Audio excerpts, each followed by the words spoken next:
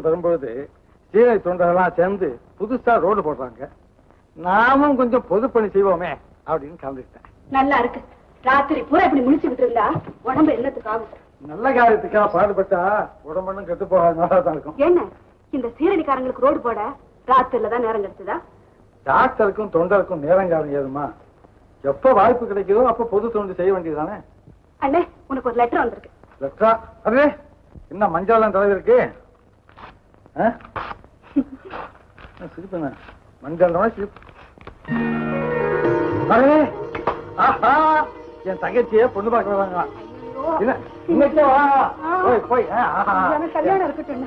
முதல்ல உனக்கு தான் கல்யாணம் பண்ணும். எனக்கு கல்யாணமா? இந்த பார். உனக்கு கல்யாணம் ஆகி நீ ஒரு குழந்தைய பெற்று அவன் நெஞ்சில போட்டு அப்படியே தட்டி தாளாட்டு பாடின பிறகுதான் எனக்கு கல்யாணம். இந்தா போய் அலங்காரம் பண்ணிக்க. பத்து மணிக்கு வர்றாங்களாம் இப்ப ஆரம்பிச்சா தான் பத்து மணிக்கு முடியும். ஒன்பது ஆச்சு.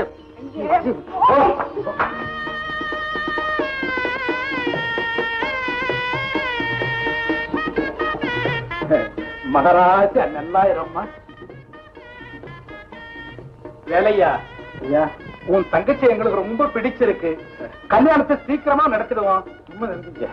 சரி பையனை நீங்க பாத்துருக்கீங்க பொண்ணு மாப்பிள்ளைய பார்க்க வேணாமா? அதான் வாங்க. தங்கச்சி நான் பார்த்தா போதும்னு சொல்லிச்சு அப்படியா? நான் சொன்ன வார்த்தை தான்.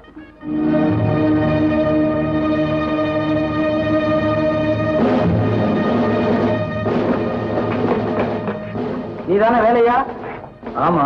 நேற்று ராத்திரி உங்க கம்பெனி கேட்சியரை கொலை செய்த குற்றத்துக்காக உன்னை கை செய்யறோம் அண்ணா! கொலையா? ஐயோ! மன்னிச்சிடுங்க. நீங்க வீடு தவறி வந்திருக்கீங்கன்னு நினைக்கிறேன். சரிதாப்பா நீ வேலை பார்க்கிற கம்பெனி உனக்கு தந்த அடையாள விலை தானே இது? ஆமா இது என்னதான் இது கொலை நடந்த இடத்துல கிடந்தது. அது எப்படி இருக்கும்? என் சட்டப்பையில போட்டிருந்தேன்? இதை எடுத்துதான் சட்டை. பாத்தியா அவன் சட்டைய? என்னண்ணா இதெல்லாம்? எங்க அண்ணனுக்கு ஒண்ணும் தெரியாது சார். நிச்சயமா கொலை செய்திருக்கவே மாட்டாரு. எங்க அண்ணனை நம்புங்க சார்.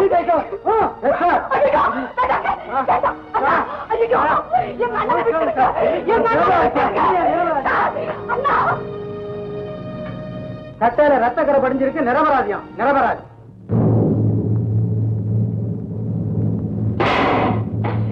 சபாஷ் ராணி சபாஷ். தேங்க்யூ டாடி எங்க?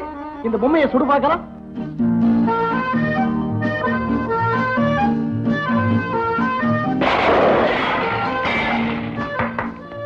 சபாஷ். யோ கணக்கு பிள்ளை ஐயா. என் பொண்ணு என்னமா தவறாம அந்த பொம்மையை சுட்டுது பாத்தியா ஐயா? இப்ப பொம்மையத்தான் சுடுது. ஆனா ஒரு நாளைக்கு உங்க நெஞ்சையே சுட்டுடக் கூடாது எஜமா. யோ சும்மாரி வெரி சாரி டாடி என்னம்மா? இல்லப்பா கண்ணாடியை சேர்த்து உடைச்சிட்டேன். தட்ஸ் ஆல் ரைட் ராணி உனக்கு ஒரு ஹாப்பி நியூஸ் என்னப்பா? சீக்கிரமா உனக்கு கல்யாணம் நடக்க போதுமா போங்கப்பா. நான் தான் கல்யாணமே வேண்டாம்னு சொல்லிட்டு இருக்கேன். என்னங்க? ராணி கல்யாணமே வேண்டான்னு சொல்லுது. யோ நீ ஒரு பைத்தியம் ஐயா. எந்த பொண்ணுதான் கல்யாணம்னு சொன்ன உடனே எஸ் டாடி அப்படின்னு சொல்லும். வெக்கமா இருக்காது ஐயா. என்னங்க? என்ன இருந்தாலும் நீங்க பெண்ணை வளர்க்குற முறை சரியில்லைங்க. பெத்த தாய் இல்லாதனால ஒரு தகப்பன் தன் பெண்ணை தப்பா வளர்த்து தாங்குற பழி உங்களுக்கு வந்துடுமோன்னு எனக்கு பயமா இருக்குங்க. யோ என்னையா அநியாயமா பயப்படுற? எனக்கு ஆண் குழந்தை இல்லைங்கிறதுனால ஏதோ ஆணுக்கு ஆனா பெண்ணுக்கு பெண்ணா கொஞ்சம் செல்லம் கொடுத்து வளர்த்துட்டேன். எல்லாம் கல்யாணமானா சரியா போயிடுமியா நாளைக்கு மாப்பிள மனோகர் வரப்போறான். அப்ப என்ன நடக்குதுன்னு பாரேன்.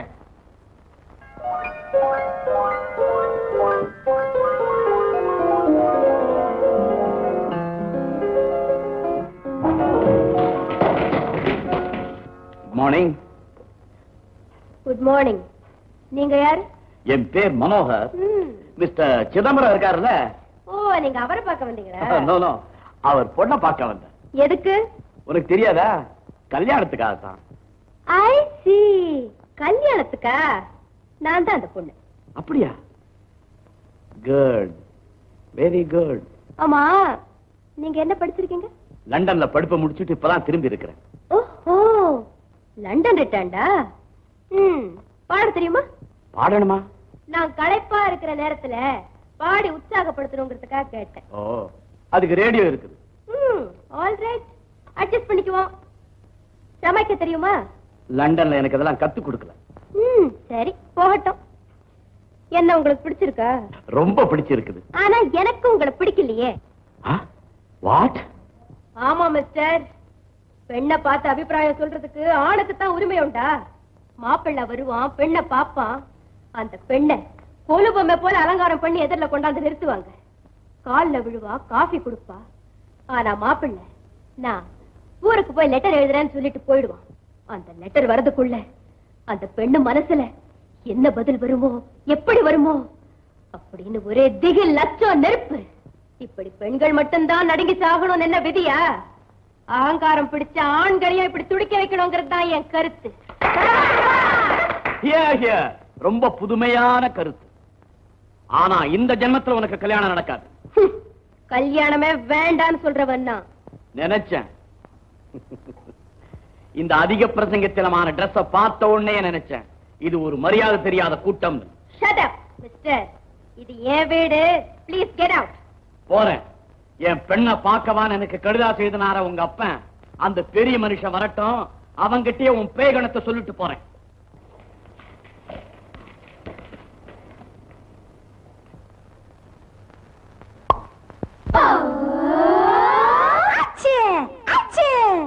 என்ன பொறுத்த மடி மாமா. எனக்கு ஒரு மாலை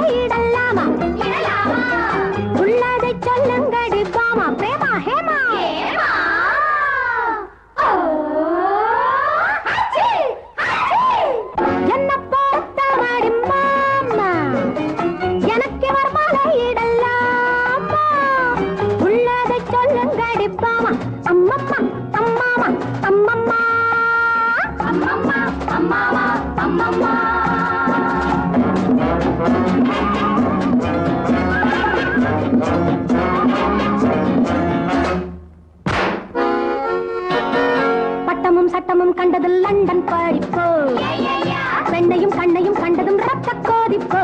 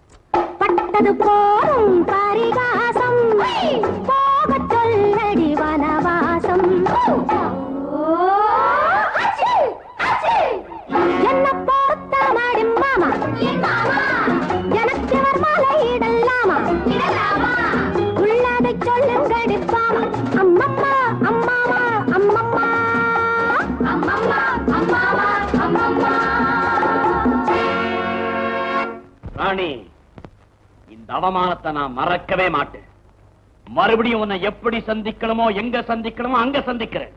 தேங்க்யூ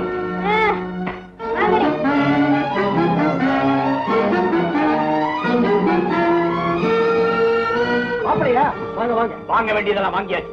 என்ன சொல்றீங்க? உங்க பொண்ணு ஒரு ராட்சசி அடங்காப்ளாரி மனோகர். கொஞ்சம் நிதானமா பேசுங்க. நல்லா நிறுத்தியா? இது மாதிரி பொண்ணை பெத்ததுக்கு நாக்க பிடிங்கிட்டு சாகலாம் ராணி எஸ் சரி ஏமா மாப்பிள கோச்சிட்டு போறாரே? என்னமா நடந்தது? படிச்சான் நான் மடையன். சொன்ன உடனே மரியாதையா போகல.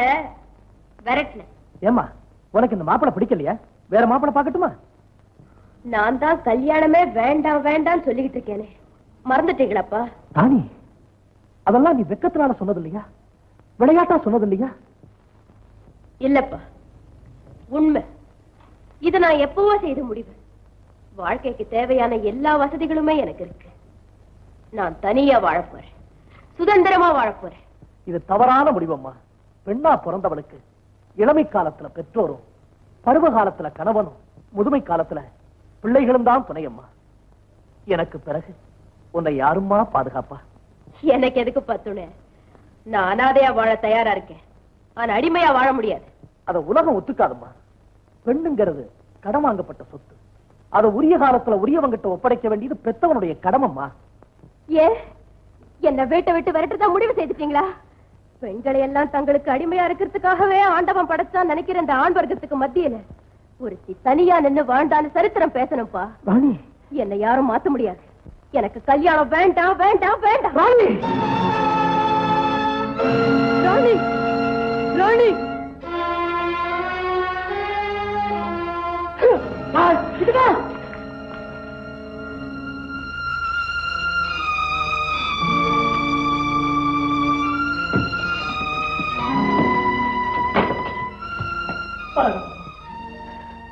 நான் பெரிய தப்பு பண்ணிட்டேன். தாயில்லா பொன்னாச்சேன்னு செல்லம் கொடுத்து வளர்த்தேன். அது இப்படி விபரீதத்துல முடிஞ்சு போச்சு. என்ன மன்னிச்சிரு மரகதம் என்ன மன்னிச்சிரு என்ன மன்னிச்சிரு மரகதம் என்னமா உங்க உப்பத்தின்னு வாழ்றவனா. உங்க மகளுடைய எதிர்காலத்தை கருதி ஒரு யோசனை சொல்லட்டுங்களா?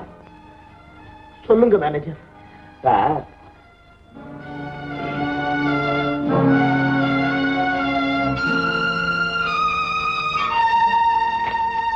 இது மாதிரி ஒரு உயில் எழுதுங்க. இப்படி ஒரு நிபந்தனையா? ஆமா சார். இதை தவிர வேற வழியே இல்லை. கணக்கு பிள்ளை. ஐயா உடனே வக்கீல வர சொல்லுங்க. மேனேஜர் நெஞ்சு வலி அதிகமா இருக்கு. டாக்டருக்கு போன் பண்ணுங்க.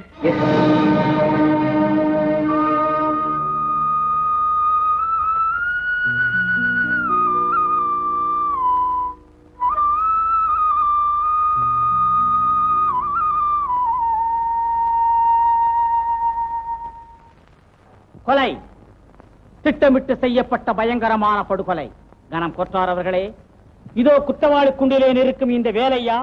சிதம்பரம் கம்பெனி கேசியர் கணபதியை சென்ற ஜூன் மாதம் முதல் தேதி என்று இரவு பதினோரு மணிக்கு கொலை செய்திருக்கிறார். அதற்கு ஏராளமான ஆதாரங்கள் இருக்கின்றன. இருவருக்கும் சம்பள தகராறு காரணமாக ஏற்கனவே பகை இருந்திருக்கிறது. கொலை நடந்த இடத்தில் வேலையாவின் அடையாள வில்லை கடந்திருக்கிறது. கொலை செய்யப்பட்ட கேசியர் கணவரின் ரத்தம் சோய்ந்த சட்டை வேலையாவின் வீட்டில் கிடைத்திருக்கிறது. வேலையா அன்றிரவு வீட்டிற்கு வரவே இல்லை. விடியற் காலையில் தான் வந்திருக்கிறார். அதை அவர் மறுக்கவில்லை. எனவே வேலையாதான் குற்றவாளி என்பதில் கடுகளவும் சந்தேகமில்லை. ஆகவே வேலையாவுக்கு கடுமையான தண்டனை விதிக்குமாறு கனம் கோட்டார் அவர்களை கேட்டுக்கொள்கிறேன். நீ ஏதாவது சொல்ல விரும்புறியா? நான் உண்மையிலேயே ஒரு நிரபராதி. இந்த கொலைக்கும் எனக்கும் எந்த சம்பந்தமும் இல்லை. அதை உன்னால நிரூபிக்க முடியுமா? கொலை நடந்த அன்னைக்கு சாயந்தரம் என் வேலை முடிஞ்சு சம்பளம் வாங்கறதுக்காக நான் ஆபீஸ்க்கு போனேன். அப்போ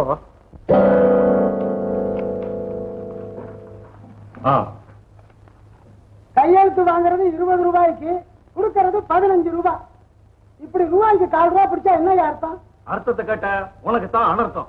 மேனேஜர் ஐயா உள்ள இருக்காரு அவர் காதுல விழுந்துடுச்சுன்னா உன் சீட்டை கடிச்சிருவாரு இந்த அக்கிரமத்துக்கு ஒரு முடிவே இல்ல. என்ன மாணிக்கணும் என்ன தகராறு? என்ன வேலையா புதுசா கேக்குறேன் நம்ம வாங்குற சம்பளம் நம்ம கால் வயிற்றுக்கு பத்தல. இதுல ரூபாய்க்கு கால் ரூபாய் கமிஷன் கமிஷனா ஆ, வாங்க. ஏன் மிஸ்டர் காகே கமிஷன் வாங்குறீங்களா? கமிஷன் இங்க பாரு வேலையா இதெல்லாம் மாமூல். எங்கேயும் நடக்கிறதா? உனக்கு கமிஷன் முடிக்கிறோமா? இல்லையே. போயிடு ஒதுங்க. யோ, இப்ப எனக்கா பேசுறேன் இவங்களுக்காக பேசுறேன் காலேஜில படிச்சுட்டு இந்த கூலி வேலை தான் செய்வேன்னு ஒத்த கால்ல நின்னியே எனக்கு அப்பவே தெரியும். இப்படி ஊரை கூட்டி கலகம் பண்ணுவேன் அந்த கதைதான் இருக்கட்டும் இப்ப மரியாதையா? இவங்களுக்கு சேர வேண்டிய முழு சம்பளத்தையும் கொடுக்க போறியா இல்லையா? கொடுக்கலன்னா என்ன செய்வ? உயிரோட வீடு போய் சேர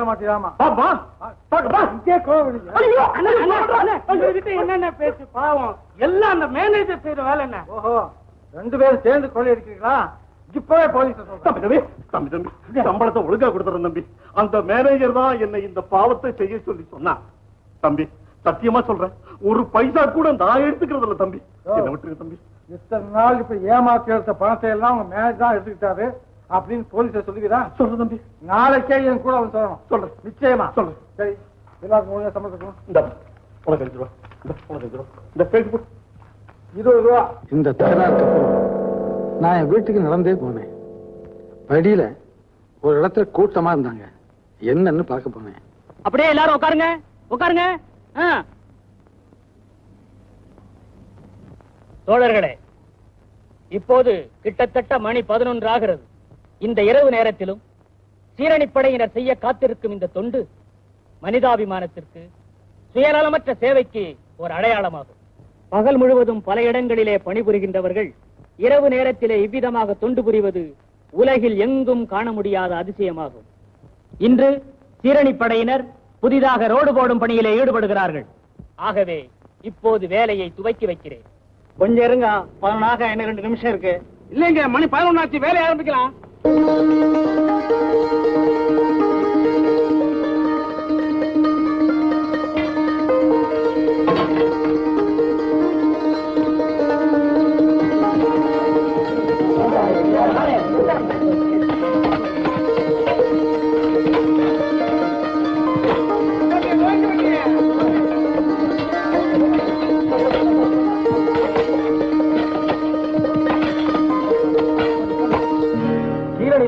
செய்ததுக்கு என்ன ஆதாரம்?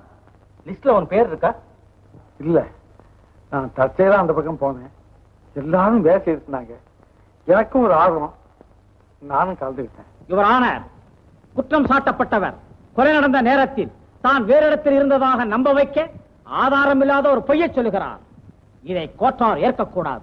இந்த மாதம் இருபத்தஞ்சாம் தேதி அன்று தீர்ப்பு சொல்லப்படும்.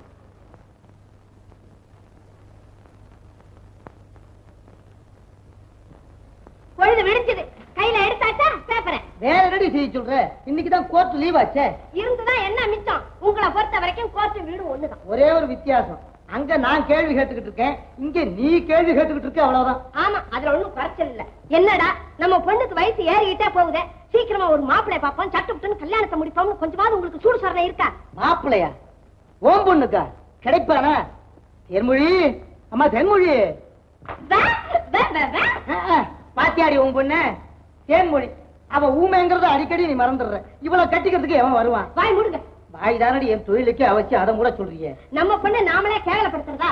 கூட நாலு காசு விட்டு எவனா வந்துட்டு போறான் என் பொண்ணுக்கு. அந்த நாலு காசு கொடுக்கிற கட்சிக்காரனை தானடி நான் தேடிக்கிட்டு இருக்கேன். ஆமா உங்க கட்சிக்காரன் எவன் வெளியில இருக்கான்? உங்களை வக்கீலா வச்சுக்கிட்ட அத்தனை பேரும் உள்ள இருக்காங்க. கட்சிக்காரனா கட்சிக்காரனோ கடன்காரனோ போய் தான் பாரு இல்லையே மூஞ்சி கரையா இருக்க? நமக்கு கடன் கொடுத்தோம் மூஞ்சி கலையா இருக்க முடியாது. இது ஏதோ ஒரு கேஸ் வேற ஒண்ணும் இல்ல. போங்க போங்க போங்க எல்லாம் உள்ள போங்க. இந்த பாருங்க இழிச்ச வாய்த்தனமா வந்த கேஸ விட்டுறாதீங்க. கல்யாணத்துக்கு பொண்ணு இருக்கா?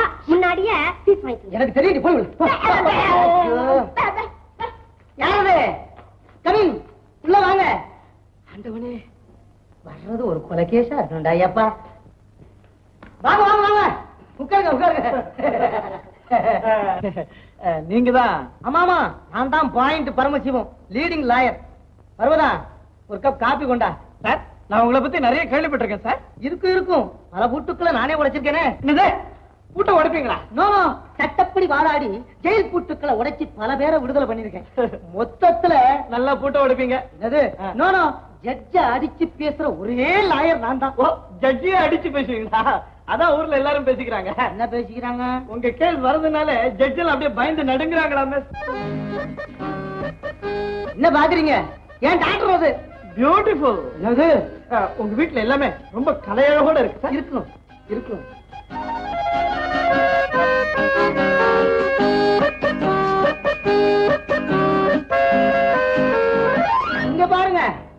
நீங்க கொண்டு வந்திருக்கிற கேஸ் என்ன என்ன விஷயம்? கேஸ் ஒண்ணு இல்ல சார். நானும் ஒரு வக்கீல். இப்பதான் சார் பிஏபிஎல் பாஸ் பண்ணிருக்கேன். என் தொழிலுக்கே போட்டியா? உங்ககிட்ட தொழில் கத்துக்க வந்திருக்கேன் சார். அடப்பாவி? ஒண்ணு இல்ல.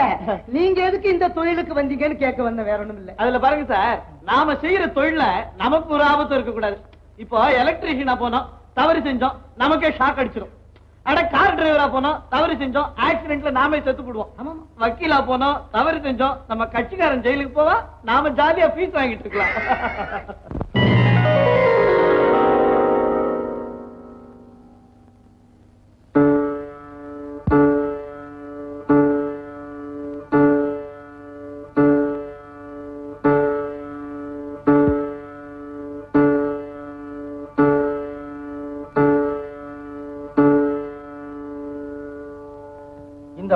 கொலை செய்யப்பட்ட கேஷியர் கணபதிக்கும் வேலையாவுக்கும் ஏற்கனவே தகராறு இருந்தது என்பதற்கு வேலையாவின் நெருங்கிய நண்பர்களே சாட்சியம் கூறியுள்ளனர் மேற்கண்ட சாட்சியங்களை ஆதாரமாக கொண்டு வேலையா தான் கொலை செய்தான் என்பதை உறுதி செய்கிறது எனவே இந்தியன் பீனல் கோடு முன்னூத்தி இரண்டாவது செக்ஷன் படி குற்றவாளி வேலையாவுக்கு மரண தண்டனை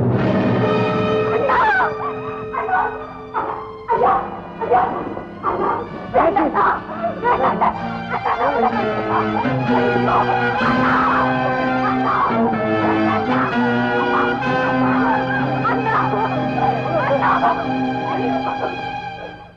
எத்தனை நாளைக்கு தான் இப்படி ஊருக்கு வெளியே ரகசிய வாழ்க்கை நடத்த முடியும்? அதாவது நமக்கு முறைப்படி கல்யாணம் நடக்கணும். அவ்வளவுதானே? கவலைப்படாத பார்வதி. இன்னைக்கு எனக்கு நிறைய பணம் கிடைக்க போகுது. நாளைக்கே நம்ம கல்யாணத்தை சும்மா ஜாம் ஜாம் நடத்திடலாம். பணமா? ஏதத்தா? அது அது நம்ம மேனேஜருக்கு நான் ஒரு பெரிய உதவி செஞ்சிருக்கேன். அதுக்காக அவர் எனக்கு நிறைய பணம் கொடுக்க போறாரு. பணம் கிடைச்சாலும் கிடைக்காட்டாலும் ஒரு மஞ்ச கயிறால் வாங்கிட்டு வந்துருங்க. மஞ்ச கயிறு என்ன பார்வதி? தங்க கயிறோடய திரும்பி வர சந்தோஷமா? என்னது? எங்க வந்தையா? என்னையா இப்படி கேக்குற? ஏன் வெளிப்படையா சொல்லணுமா? கேஷியரை கொலை பண்ணதுக்கு பணம் வாங்க வந்த. பாவி நீயா கொன்ன? நீதான் ஒரு அடி அடிச்சிட்டு வில விலத்து போயிட்டிய. நான் இல்ல கொன்ன நான் கொன்னதுக்கு உனக்கு சம்பளம் வேணுமோ? ஏய் அன்னைக்கு நடந்ததை எல்லாம் மறந்துட்டியா? கொஞ்சம் நினைச்சு பாரு நான் சொன்னபடி கேஷியரை கூட்டிட்டு வந்தேன். என்ன அழகாச்சா? மேனேஜர் கூட்டிட்டு வர சொன்னாரு சொல்லிட்டு எங்க அழைச்சிட்டு போற? இங்கதான் இருக்கிறேன்னு சொன்னாரு. உங்ககிட்ட ஏதோ முக்கியமான ரகசியம் பேசுறமா ஏன்கிட்டயா ஆமா. இங்க வராரா பாருங்க. எங்க? காணுவேன்.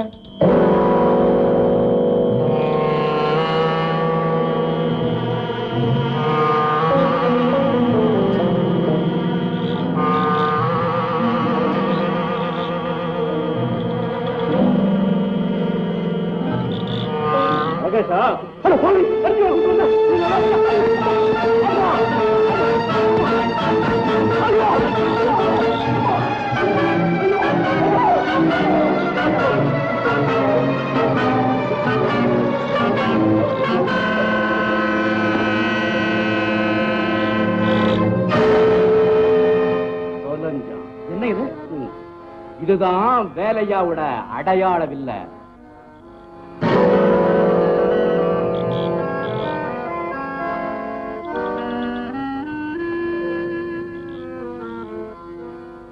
ஏ தொடர்கடைக்கு இவன் அடிக்கத்தான் பயந்த இந்த சட்டையாவது பத்திரமா கொண்டு போய் வேலையா வீட்டுல போடு. எதுக்கு? எதுக்கா? ஒரே கல்லுல ரெண்டு கால் நம்ம ரகசியம் எல்லாம் தெரிஞ்ச கேஷியர் தொலைஞ்சான். இவனை கொன்னதா நாளைக்கு வேலையாவை போலீஸ் பிடிச்சுக்கோ. நம்ம எதிரிகள் ரெண்டு பேருமே க்ளோஸ்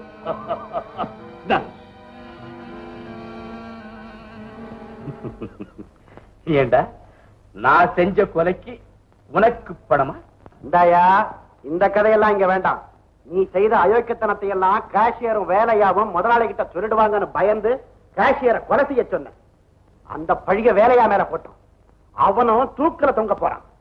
இது எல்லாத்துக்கும் நான் உடந்தையா இருந்தேன். இதோ பாரு மரியாதையா பேசின பணத்தை கொடுத்துரு. இல்ல? இல்லன்னா என்னடா செய்வ? என்ன செய்வேனா? செய்யறதை போடா. நீ கொலை பண்ண விஷயத்தை போலீஸ்ல போய் சொல்லிடுவேன். நில்றா.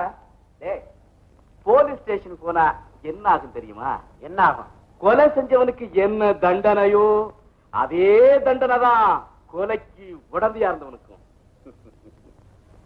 போலீஸ் ஸ்டேஷன் போய் சொல்றியா? போறியாடா? டேய், டேய், இருக்கு பேல உட்கார்ற சந்தோஷமா கேட்டு வாங்கிட்டு போவானா? உட்காரு தாக சாதி பண்ணி ரொம்ப நாள் ஆச்சுல இரு. உனக்கு ஏராளமா தாராளமா கொண்டு வரேன்.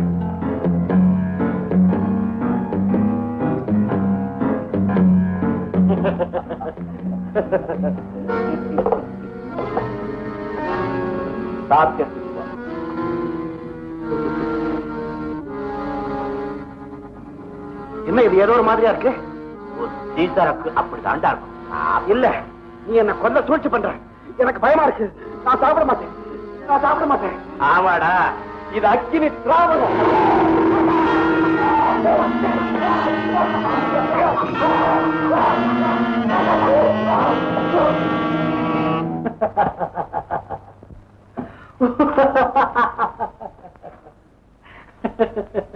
வேலையா என்ன இப்படி சிரிக்கிற? சிரிக்காம என்னையா பண்றது? தூக்கு தண்டனை விழிச்சாச்சு நாளையும் குளிச்சாச்சு பயத்துக்கு பசிக்குதான் சாப்பாடு வேணுமா? அது நிறுத்த முடியுதா? அது நினைச்சா சிரிப்பு வந்தது சிரிக்கிறியேன்னு கேக்குறிய. நல்லா துன்பம் வரும்போது சிரிக்கணும்னு சொல்லுவாங்க. அப்படி யாரும் சிரிச்சதாக தெரியல. இந்த வேலையா இருக்கிறானே? விசித்திரமான பிறகு கேட்டியா சிரிப்ப? உண்மையின் சிரிப்பை ரசிக்கிறேன். அதில் உலகை மறந்து சிரிக்கிறேன். உண்மையின் சிரிப்பை ரசிக்கிறேன். அதில் உலகை மறந்து சிரிக்கிறேன். எது வந்தாலும் தாங்கிடும் இந்த இதயம் கலங்காது. எது வந்தாலும் தாங்கிடும் இந்த இதயம் கலங்காது.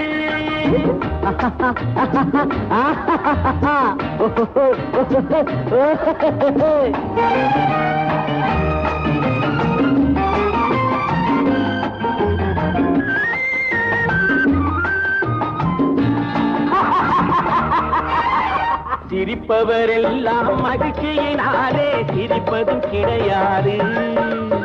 சிரிப்பவரெல்லாம் மகிழ்ச்சியினாலே சிரிப்பதும் கிடையாது. பிறரை கெடுப்பவரெல்லாம் நிரந்தரமாக வாழ்வதும் கிடையாது. பிறரை கெடுப்பவரெல்லாம் நிரந்தரமாக வாழ்வதும் கிடையாது. சொல்லும் செயலும் ஒன்றாயிருந்தால் உலகம் பழிக்காது. சொல்லும் செயலும் ஒன்றாயிருந்தால் உலகம் பழிக்காது.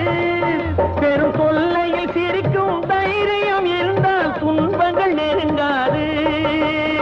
உண்மையின் சிரிப்பை ரசிக்கிறேன் அதில் உலகை மறந்து சிரிக்கிறேன். எது வந்தாலும் தாங்கிடும் இந்த இதயம் கலங்காது.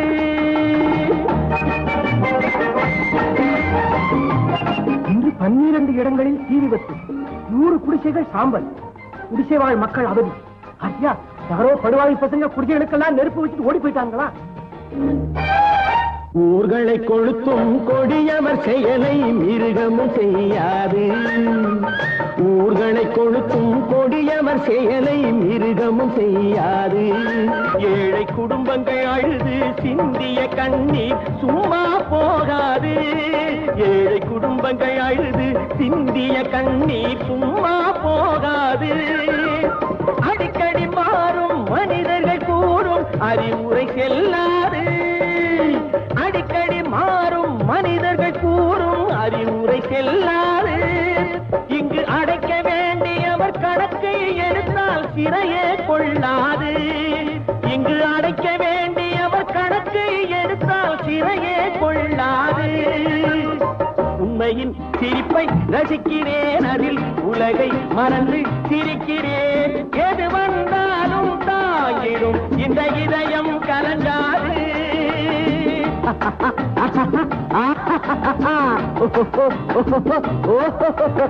எது வந்தாலும் தாங்கிடும் இந்த இதயம் கலங்காது ஹலோ வக்கீல் பரமசிவமா? நான் தான் பரமசிவம் பேசுறேன். யாரது? நான் தான் மேனேஜர் மணி பேசுறேன். அடடே மேனேஜர் சாரா? நமஸ்காரம் சார். வக்கீல் சார் முதலாளி சிதம்பரம்ல எழுதி வச்சுட்டு போனாரு உயிர் அதை எடுத்துட்டு வந்து அவர் மக கிட்ட படிச்சு காமிச்சிருங்க. பேஷா இப்ப உயில கொண்டு வந்து படிச்சு காமிச்சிடுறேன். உயிலா? எதுக்கு சார் உயில்? எங்க அப்பாவுக்கு நான் ஒரே பொண்ணு. சொத்துல எனக்கு தானே சேரணும்? பதறாம கேளுமா. இந்த உயிலுடைய விவரத்தை சுருக்கமா சொல்றேன். இன்னில இருந்து ஒரு மாசத்துக்குள்ள நீ கல்யாணம் செய்துக்கணும். முடியாது சார்.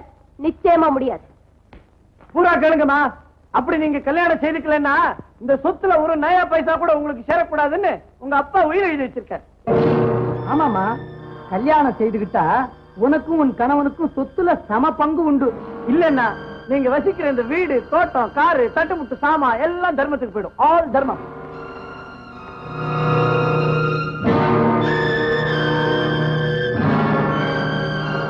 அநியாயம் உலகத்துல எங்கேயுமே நடக்காத அக்கிரமம். நீங்க கல்யாணமே செய்துக்க மாட்டேன்னு சொல்றீங்களே அது கூட உலகத்துல எங்கேயுமே நடக்காத அக்கிரமம் தானா?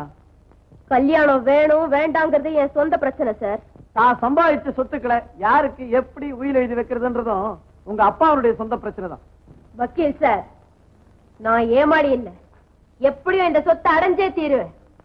பெரிய பெரிய வக்கீல்களை வச்சு கேஸ் நடத்தி இந்த உயிரை உடைக்கிறேன். பெரிய வக்கீலா வைக்க போறாங்களாம். உங்களுக்கு சான்ஸ் இல்ல. முடியாதும்மா முடியாது. அவர் எழுதியிருக்கிற உயில சட்டப்படி ஆட்சேபிக்க முடியாது.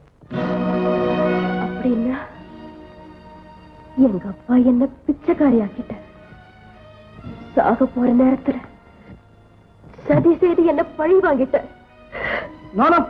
திஸ் இஸ் நாட் சதி. உங்க எதிர்காலம் நல்லா இருக்கணும்ன்ற ஆசையில தான் உங்க அப்பா இந்த மாதிரி ஒரு காரியத்தை செஞ்சிருக்காரு. நீங்க மட்டும் சரின்னு சொல்லுங்க. உங்க கல்யாணத்துக்கு நாங்களே ஏற்பாடு பண்ணிடுறோம்.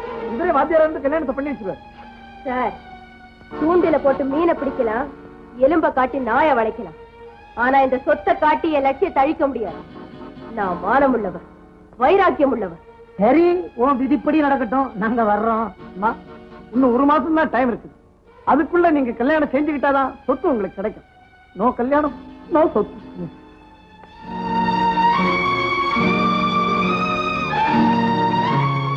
அம்மா நம்ம வேலைக்காரங்களுக்கு போற மாசம் சம்பளம் கொடுக்கல. அதனால வேலையை விட்டு நின்னுக்கிறேன்னு சொல்றாங்க.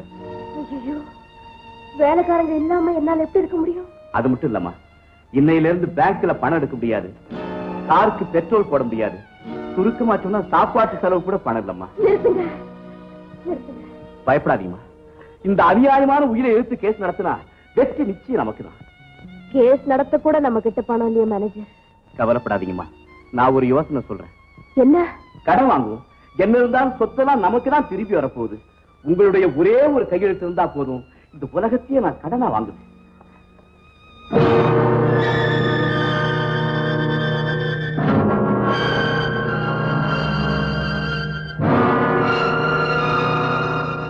போதுமா போதும் இல்ல இல்ல.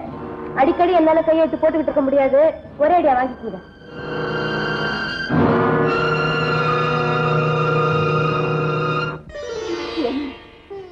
என்ன முடிவுன்னு கேக்குறியா? நான் சிரிச்சப்போ நீ சிரிச்ச. நான் அழுதப்போ நீயும் அழுத. ஆனா இப்ப மட்டும் என்ன தனியா விட்டுட்டு நீ முன்னாடி போயிடலான்னு பாக்குறியா? முடியாது என்ன முடியாது.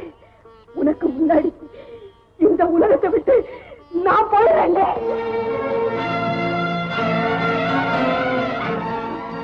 ஆண்டவனே குழந்தை வரம் கேட்டு எல்லாரும் ஒண்ணு வேண்டிக்குவாங்க. ஆனா நான் பெத்த குழந்தைய உன்கிட்ட ஒப்படைக்க வந்திருக்கேன். இதை யாராவது நல்லவங்க கிட்ட ஒப்படைக்க வேண்டியது உன்னுடைய பொறுப்பு. Oh, my God.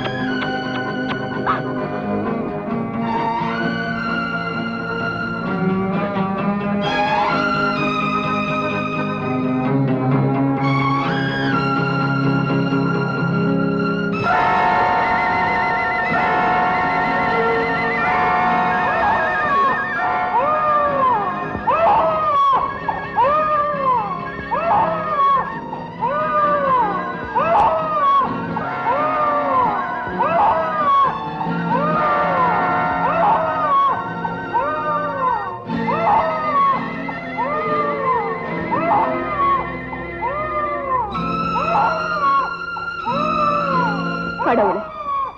உயிரை போக்கிக்க வந்த எனக்கு இன்னொரு உயிரை காப்பாற்ற வேண்டிய பொறுப்பை கொடுத்துட்டேன். என்ன இங்க யாரையுமே காணும்? அம்மா? என்ன இது? அம்மா? அம்மா? இங்க யாருமே இல்லையா? இப்ப என்ன செய்யறது?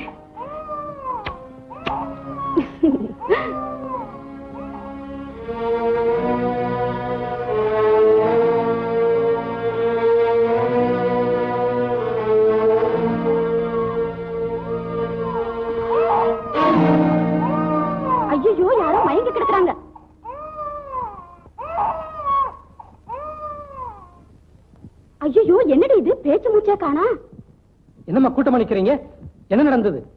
யாரோ பாவம் பிள்ளைக்காரி மயங்கி விழுந்துட்டான் தண்ணி எடுங்கம்மா தண்ணி எடுங்க.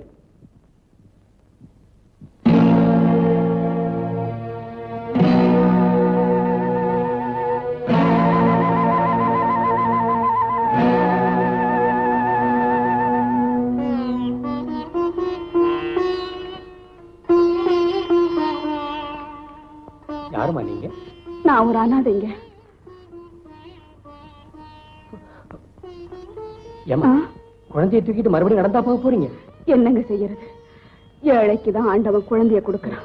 நான் வேணும்னா வண்டி ஏற்பாடு செய்து தர்றேன். நீங்க எங்கம்மா போகணும்? வேண்டாங்க. ரொம்ப நன்றி. பாத்தியாடி கழுத்துல தாலி இல்ல கையில குழந்தை. ஊரே கெட்டு போச்சுடி. ஹாய்.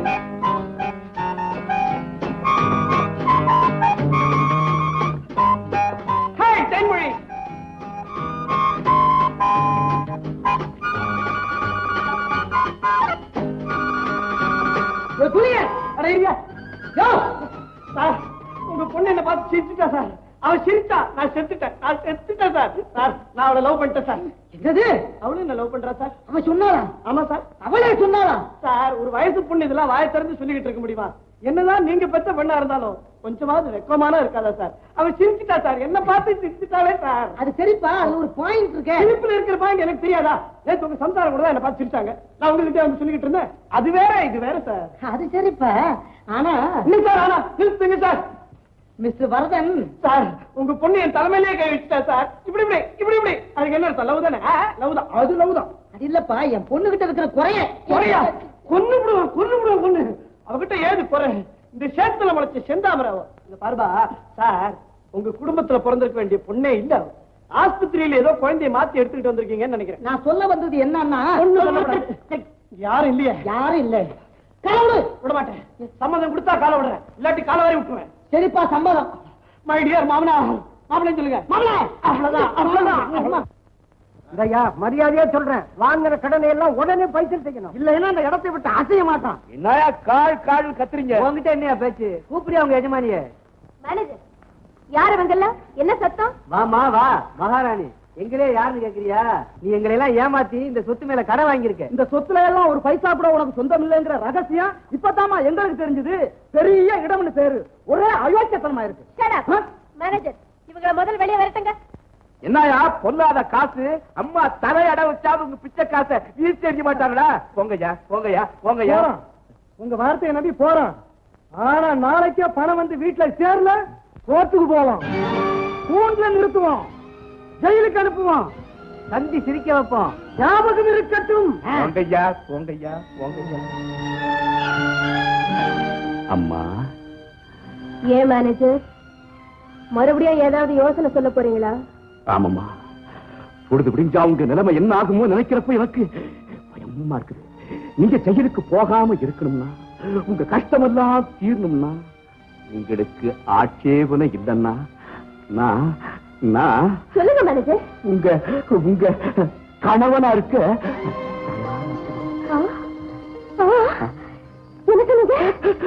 உங்களுக்காக நான் என்னையே தியாகம் பண்றேன் என்னையே தியாகம் பண்றேன்.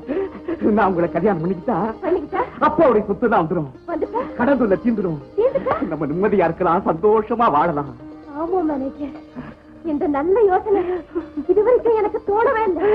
ராணி ராணி ராணி இப்பவே நம்ம கல்யாணத்துக்கு ஏற்பாடு பண்ணிட்டுமா?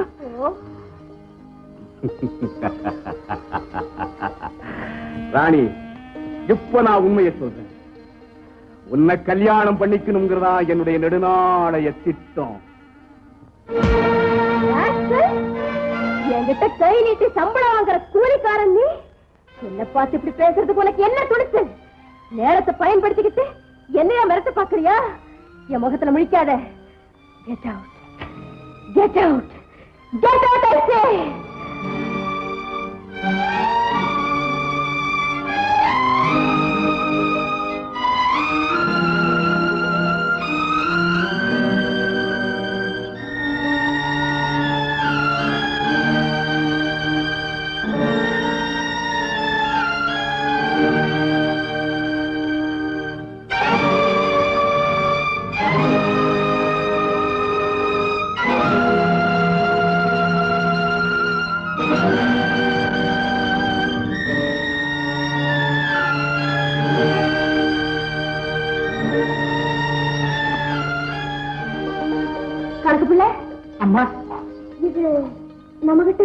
வேலை செய்யற ஆமாம்மா. நம்ம கிட்ட வேலை செய்யற வேலையாதாம்மா. பாவம். தூக்கு மேடைக்கு போறான். அவனுக்கு ஒரே ஒரு தங்கச்சி. கல்யாணமாகாத பொண்ணு. அனாதையா தவிக்குதம்மா.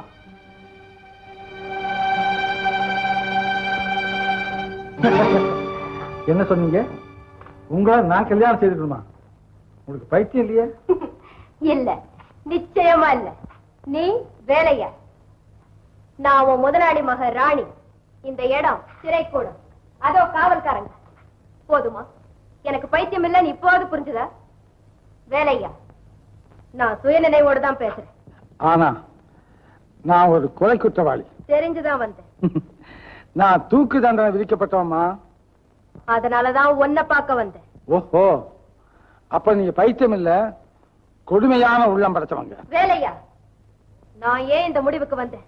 காரணத்தை கேள். உனக்கு தெரியும். எங்க அப்பா பெரிய கோடீஸ்வரர் திரண்ட சொத்துக்கு அதிபதின்னு ஆமா ஆமா.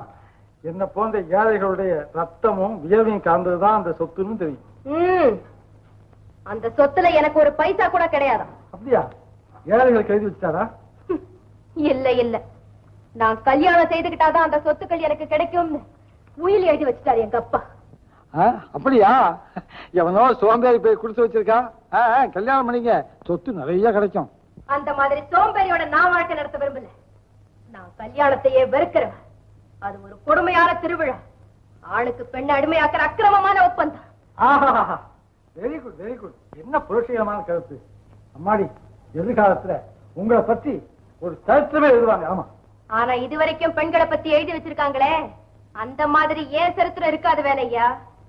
அந்த காலத்துல இருந்து இன்னைக்கு வரைக்கும் ஆண் தான் உயர்ந்தவன் அந்த ஆணுக்கு பணிவிட செய்யறதுக்காகத்தான் ஆண்டவன் பெண்ணை படைச்சான். புராணம் கதை கவிதை எல்லாமே எழுதி வச்சிருக்காங்க. ஏன் வேலையா? நீயே சொல்லு. இந்த நாட்டுல பிறந்த மகா மகா மேதைங்க பெண்ணுக்கு தான் புத்தி சொன்னாங்களே தவிர ஆணுக்கு எந்த உபதேசமாவது எங்கேயாவது உண்டா? எப்போதாவது உண்டா? இல்ல அதை கேட்க இது வரைக்கும் ஒரு இருந்தது உண்டா? ஏன் இல்ல? அதான் நீங்களே வந்துட்டீங்களே? கேளுங்க. நல்லா கேளுங்க. ரைட்ட விடாதீங்க. ஆனா ஒண்ணு ரொம்ப வேண்டி கேட்டுக்கிறேன். பெண்கள் தான் பிள்ளைய போயணுமா ஆம்பளைங்க பெத்தா என்ன? அப்படின்னு கேட்காதீங்கம்மா நீ கேலி பண்ற? பரவாயில்ல. ஆனா எந்த காலத்திலயும் நான் மட்டும் ஒரு ஆணுக்கு அடிமையாக மாட்டேன். ஒரு பெண் தனியா வாழ முடியும்னு நிரூபிச்சு காட்டுறேன். தெரிஞ்சோ தெரியாமையோ ஒரு அநியாயமான முடிவுக்கு நீங்க வந்திருக்கீங்க. நான் ஒன்னு சொல்லட்டுமா? தேவையில்லை. கல்யாணத்தை பத்தி என்ன முடிவு? இந்த கல்யாணம் சொத்துக்காக வாழ்க்கைக்காக அல்ல. அப்படித்தானே? ஆமா. அதாவது இந்த கல்யாணம் முடிஞ்சதும் கணவன் உயிரோடு இருக்கக்கூடாது. ம்? ஆமா ஆமா ஆமா. ஏம்மா பூவையும் பொட்டையும் காப்பாத்து தான் பெண் குலமே போராடுது. கேவலம் பணத்துக்காக அதையெல்லாம் இறக்குன்னு சொல்றீங்களே இது நியாயமா? இது நியாயமா இல்லையான்னு கேட்கறதுக்காக நான் இங்க வரல. கல்யாணம் செய்துக்க முடியுமா? முடியாதா? தாலி இருக்கா? தாலியை கொண்டாங்கம்மா. அப்போ! நீ கல்யாணத்துக்கு சம்மதிக்கிறியா? எப்படியோ உயிர் போக போகுது. அது உங்க மகிழ்ச்சிக்கு பயன்படுத்துமே. கல்யாணத்துக்கு ஏற்பாடு செய்யுங்க. சரிம்மா. சரியா? சரி.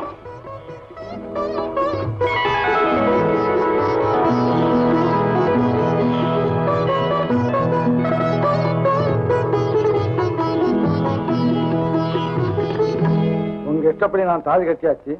ஆனா என் விருப்பம் ஒண்ணு இருக்கு. என்ன அது இப்ப தாலி கட்டினே அது இங்க ரெண்டு மூணு பேருக்கு தான் தெரிஞ்சிருக்கும். ஆனா தாலியை கழட்ட போறீங்களே அது நாலு பேருக்கு மட்டும் தெரிஞ்சா பத்தாது நாடு பூராவுக்குமே தெரியணும் அதனால அந்த நிகழ்ச்சியை பெரிய விழாவா கொண்டாடுங்க. எதுக்காக? இன்னும் புரியலையா?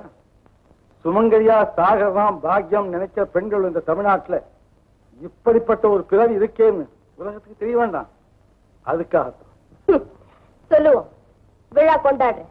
நிச்சயமா கொண்டாடு.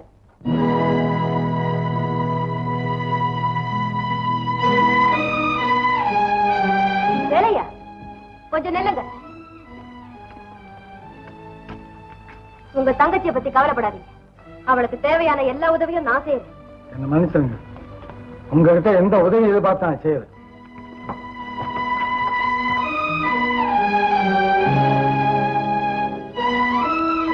தம்பி இவ்வளவு நல்ல பிள்ளையா இருக்கீங்களே. உங்களுக்கா தூக்கு தண்டனை. அது மட்டுமா? கல்யாணம் நடந்தது பாத்தீங்களா என்ன வேடி. ஐயா உங்களுக்கு வேண்டி கேட்டுக்கிறேன். நீங்களே எனக்கு குத்தவாளி நினைச்சாரு உண்மையிலேயே நான் நிரபராதி. கடவுள் தான் காப்பாத்தணும் தம்பி.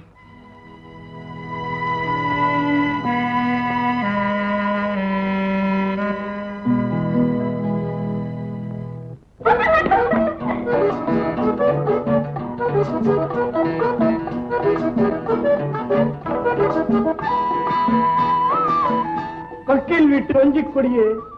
பாயிண்ட் பரமசிவம் பெற்றெடுத்த பொற்கொடியே. வா வா.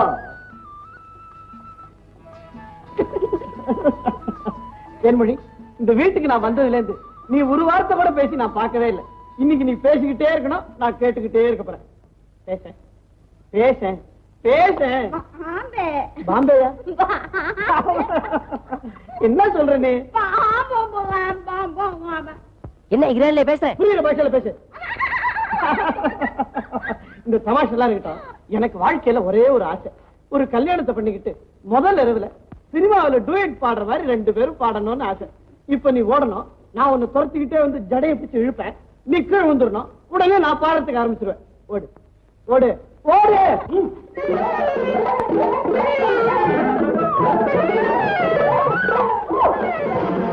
நான் பேச நினைப்பதெல்லாம் நீ பேச வேண்டும் நாளோடும் பொழுதோடும் உறவாட வேண்டும் உறவாட வேண்டும்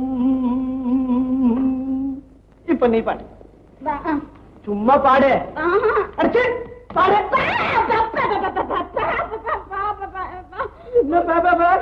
நீ ஊமையா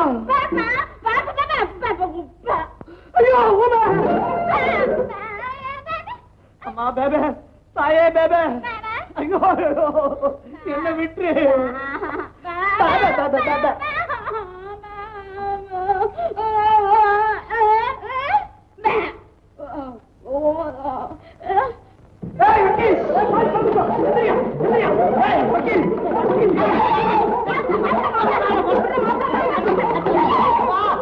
Thank you. இப்படியா துரோகம் பண்ண நீ? ஒரு ஊம பொண்ணு என் தலைமையில கட்டிட்டியே. உருப்படி வியாதி. என்னங்க? நம்ம பொண்ணு மாப்பிள்ளை என்ன சொல்ல விட்டான் மாப்பிள்ளை நீங்க தானே சொன்னீங்க. எந்த குறை இருந்தாலும் பரவாயில்லைன்னு. என்ன நீ ஏமாத்திருக்க? சீட்டிங் பண்ணிருக்க? வாடா உன்ன செக்ஷன் போர் டுவெண்ட்டில உள்ள தள்ளுற வாடா மாப்பிள்ளை நீ தாலி கட்டிருக்க செக்ஷன் ஒன் நாட்டு படி ஒண்ணு உள்ள ஐடியா செக்ஷன் ஒன் நாட் டூல உள்ள தள்ள போற? கேட்டியா? மோட்டார் கார் ஹார்ன் அடிக்குது. ஐயோ. உன் மூஞ்சிக்கு என்ன வெக்கம்? கூட்டிட்டு போங்க மாப்பிள்ளை.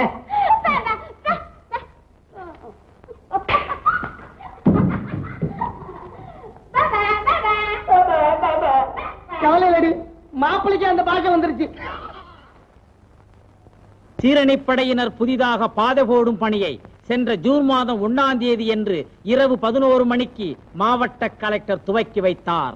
தோழர்களே இப்போது கிட்டத்தட்ட மணி பதினொன்று ஆகிறது இந்த இரவு நேரத்திலும் சீரணிப்படையினர் செய்ய காத்திருக்கும் இந்த தொண்டு மனிதாபிமானத்திற்கு சுயநலமற்ற சேவைக்கு ஒரு அடையாளமாகும். பகல் முழுவதும் பல இடங்களிலே பணிபுரிகின்றவர்கள் இரவு நேரத்திலே இவ்விதமாக தொண்டு புரிவது உலகில் எங்கும் காண முடியாத அதிசயமாகும். ஆகவே இப்போது வேலையை துவக்கி வைக்கிறேன். கொஞ்சம் இருங்க போனாக ரெண்டு நிமிஷம் இருக்கு. இல்லைங்க மணி பதினொன்று வேலை ஆரம்பிக்கலாம். அடே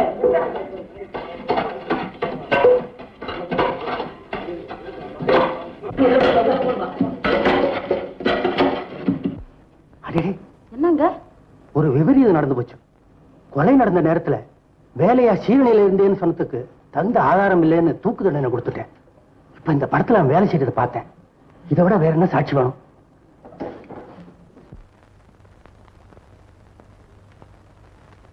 புதுமை பெண் புரட்சி பாவை நமது ஆர்வக்கத்தை அலர வைக்கும் மாறினங்கு எனக்கு சொத்து கிடைச்ச அந்த நல்ல நாள்ல என்னை வந்து பாராட்டினதுக்கு ரொம்ப நன்றி. தேங்க்யூ ஆல் வெரி மச் அம்மா அதை இப்ப கழட்ட கூடாதுமா? அதுக்கு ஒரு நாளை குறிச்சு அழைக்க வேண்டியவங்களை எல்லாம் அழைச்சி செய்ய வேண்டிய சடங்குகளை எல்லாம் செஞ்சதுக்கு அப்புறம் தான் அதை கழட்டணும் இது என் கழுத்துல விழுந்த அன்னைக்கு சீக்கிரம் கழட்ட போறேன்னு எனக்கு நிச்சயமா தெரியும். அப்புறம் எதுக்குமா சடங்கும் சம்பிரதாயமும்? அப்புறம் ஓ இஷ்டம். கோச்சுக்காதீங்க. யாரும் ஒரு நாட்டு பொறுத்தா வீட்டுக்குள்ள வருங்க நான் விட மாட்டேன்னு சொன்னேன் தூக்கி போட்டு பந்தாடிட்டாமா பந்தாடா. யார் அது?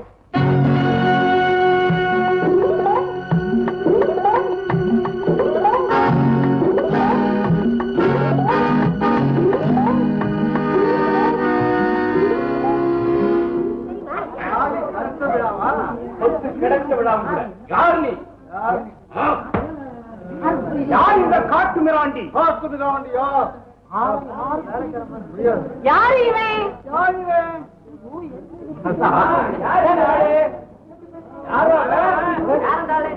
மரியாதையா என்னை பார்த்து எல்லாரும் யார் யாருன்னு கேட்கறாங்களே? சொல்லக்கூடாது. நான் தான் என்ன ஆச்சரியமா இருக்கு வாங்க வாங்க. ஏ போல் என்ன யாரும் தெரியுதா? ஆமா உனக்கு என்ன வேலை? மேனேஜர் இங்க என்ன? ஆபீஸ்க்கு போ. சாப்பிட வந்துட்டாங்க. எப்படா சமயம் கிடையாது மிஸ்டர் வேலையா? இந்நேரம் உங்களை தூக்குல போட்டிருக்கணுமே. என்ன? கயிறு அறுந்து போச்சா? அது எப்படி தூக்கில போக முடியும்? எமங்கிட்டே வாதாடி. என் உயிரை மீட்டு வந்திருக்கா இந்த நவீன சாவித்ரி. சொல்லுமா? அட சொல்லு. நீதான் மிஸ்டர் சாணி வேலையான்னு சொல்லு. உன் பதிபக்தி கணவன் மேல் வைத்திருக்கிற பற்று பாசம் இதெல்லாம் தான் என் உயிரை காப்பாத்துச்சுன்னு சொல்ல. சொல்லுமா வாழ்க வாழ்க. மனத்தை வந்த வேலையா? வாழ்க. ராணிக்கு அடிமையாக மாட்டேன் என்ற ராணியின் வைராக்கியத்தை உடைத்தெறிந்த உத்தமர். தம்பி நடந்தது நடந்துருச்சு. ஏதோ கடவுளா பார்த்து நடத்தின காரியம் இது. டேய் மாடியில போய் அரை அலங்காரம் பண்ணுங்க. போங்கடா. தம்பி ஏதோ குழந்தை வளர்ந்த முறை அப்படி தப்பா நினைச்சுக்காதீங்க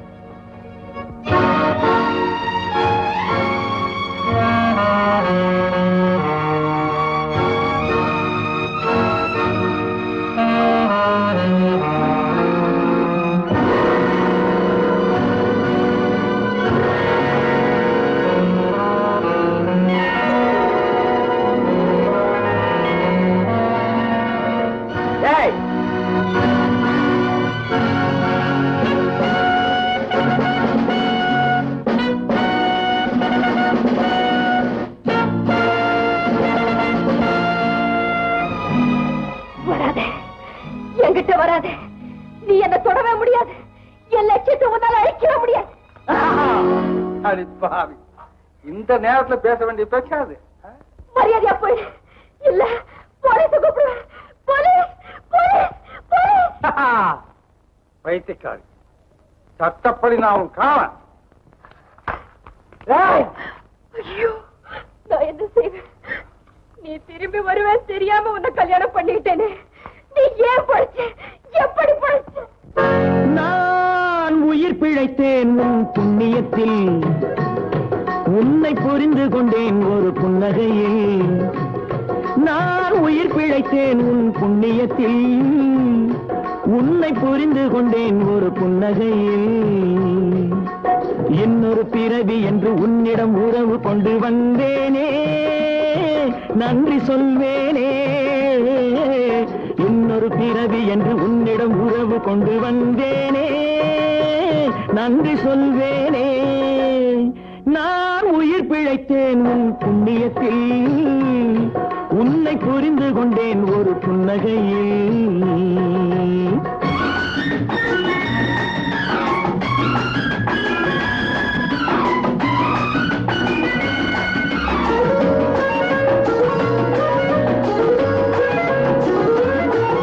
எழில் கூலுங்க கூலுங்க கொஞ்சி ரசிக்கட்டுமா? கண் மலர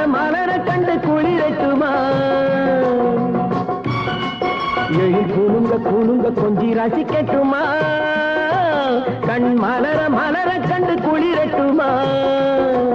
இன்று விடிய விடிய கதை அணக்கட்டுமா விடிய விடிய கதை அணக்கட்டுமா சுகம் முடிய முடிய அதை தொடரட்டுமா? சுகம் முடிய முடிய அதை தொடரட்டுமா? தொடரட்டுமா? உயிர் பிழைத்தேன் உன் புண்ணியத்தில். உன்னை புரிந்து கொண்டேன் ஒரு புன்னகையில்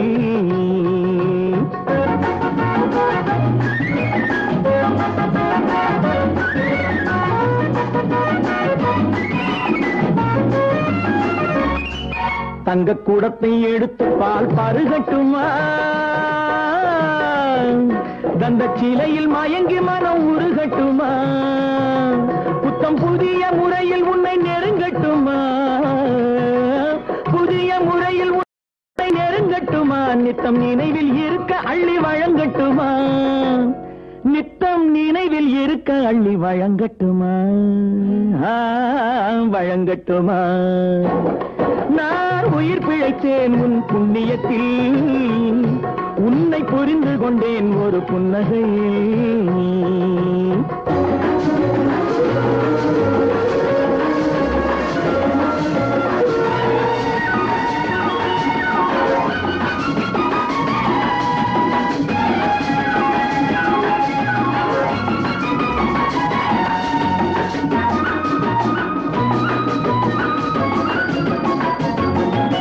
மெத்தை உனக்கும் எனக்கும் என்று விரித்திருக்கு. அந்த இனிய நினைவில் நாம் விழித்திருக்க. தொட்டு பழக பழக உடல் துவண்டிருக்க உள்ளம் துணிந்து வந்தேன் உன்னை துடிக்க வைக்க. உள்ளம் துணிந்து வந்தேன் உன்னை துடிக்க வைக்க. துடிக்க வைக்க. நான் உயிர் பிழைத்தேன் உன் புண்ணியத்தில். உன்னை புரிந்து கொண்டேன் ஒரு புன்னகையில்.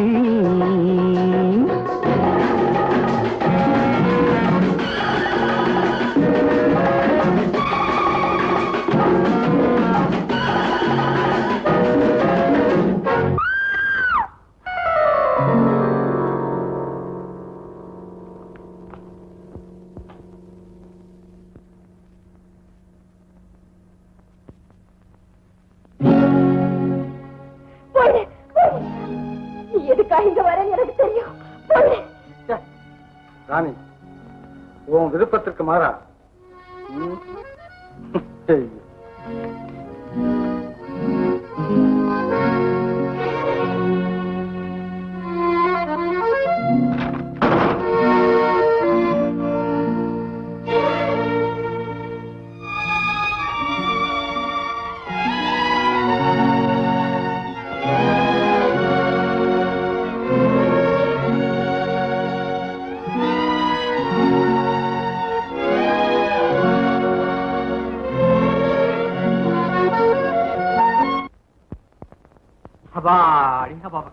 கொஞ்சம் கொஞ்சம் மேல வா கொஞ்சம் மேல. ஏண்டா? புது மாப்பிள்ளை போய் எழுப்ப வேண்டாம்? நீங்க ஒண்ணு சீப்பு. எவனோ கஞ்சி கிச்சத்த வய மாப்பிள்ளையா வந்திருக்கான் அவன் போய் எழுப்புறதுக்கு ஒரு ஆள் வேணுமாக்கும் ஏண்டா தொப்ப? உண்மையிலேயே கொலை பண்ணி இருப்பானா இருந்தாலும் இருக்கும். யாரு கண்டா? நம்ம கருத்துக்களை ஜாக்கிரதையா வச்சுக்கணும் ஜீப்பு ஏண்டா இல்லாத ஏண்டா சொல்ற? உனக்கு எதிரா கழுத்து? நீ ஏன்டா சிரிக்கிற? இங்க என்ன ஏய் ஏன்டா அடிக்கிற சம்பளம் பத்தல என்ன அம்மாவோட சொல்லி சம்பளத்தை அதிகப்படுத்தி சொல்றேன் ரெண்டு பேரும் கையில இருக்கீங்களே ஒருத்தன் காலுக்கு வா.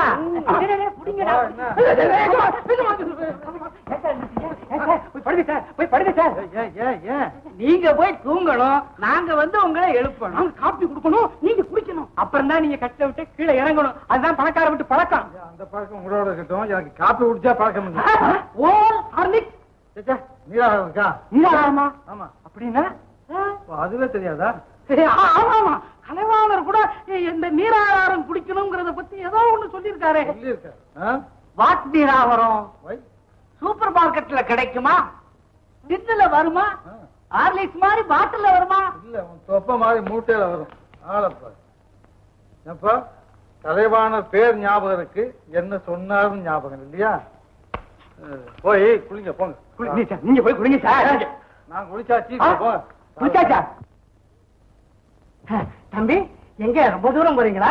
இல்ல என் தங்கச்சி கல்யாண விஷயமா போய் கவனிச்சு வந்துடுறேன். இருங்க காவல எடுத்துட்டு. நான் நடந்தே போயிடுறேன். சத்தியமா சொல்றேன் இவன் பணக்காரனே இல்ல. என்ன அஞ்சு மணிக்கா குடிச்சிருக்கான் பயங்கரம் பஞ்ச பயனா இனிமே நாம கொஞ்சம் ஜாக்கிரதையா இருக்கணும். நாலு மணிக்கு வந்திருக்கணும். அந்த வேலையை எனக்கு ரெண்டு வகையிலையும் எதிரி. என்னைக்காவது ஒரு நாள் அந்த ராணி என் வலையில அகப்படுவான்னு காத்துட்டு இருந்தேன் ஆனா அவனுக்கு பாதுகாப்பா இவன் திரும்பி வந்துட்டான். கேஷியரை கொன்ன குற்றவாளி யார் அவன் தேட ஆரம்பிச்சிட்டா நான் சிக்கிக்குவேன் அதனால பாசத்தோட தங்கைய பார்க்க போறானே அந்த வேலையை அந்த பாதையிலேயே அழியணும். இனியாவே திருப்பி வர மாட்டான். போதுமா மேனேஜர் ஓகே ஓகே ஓகே.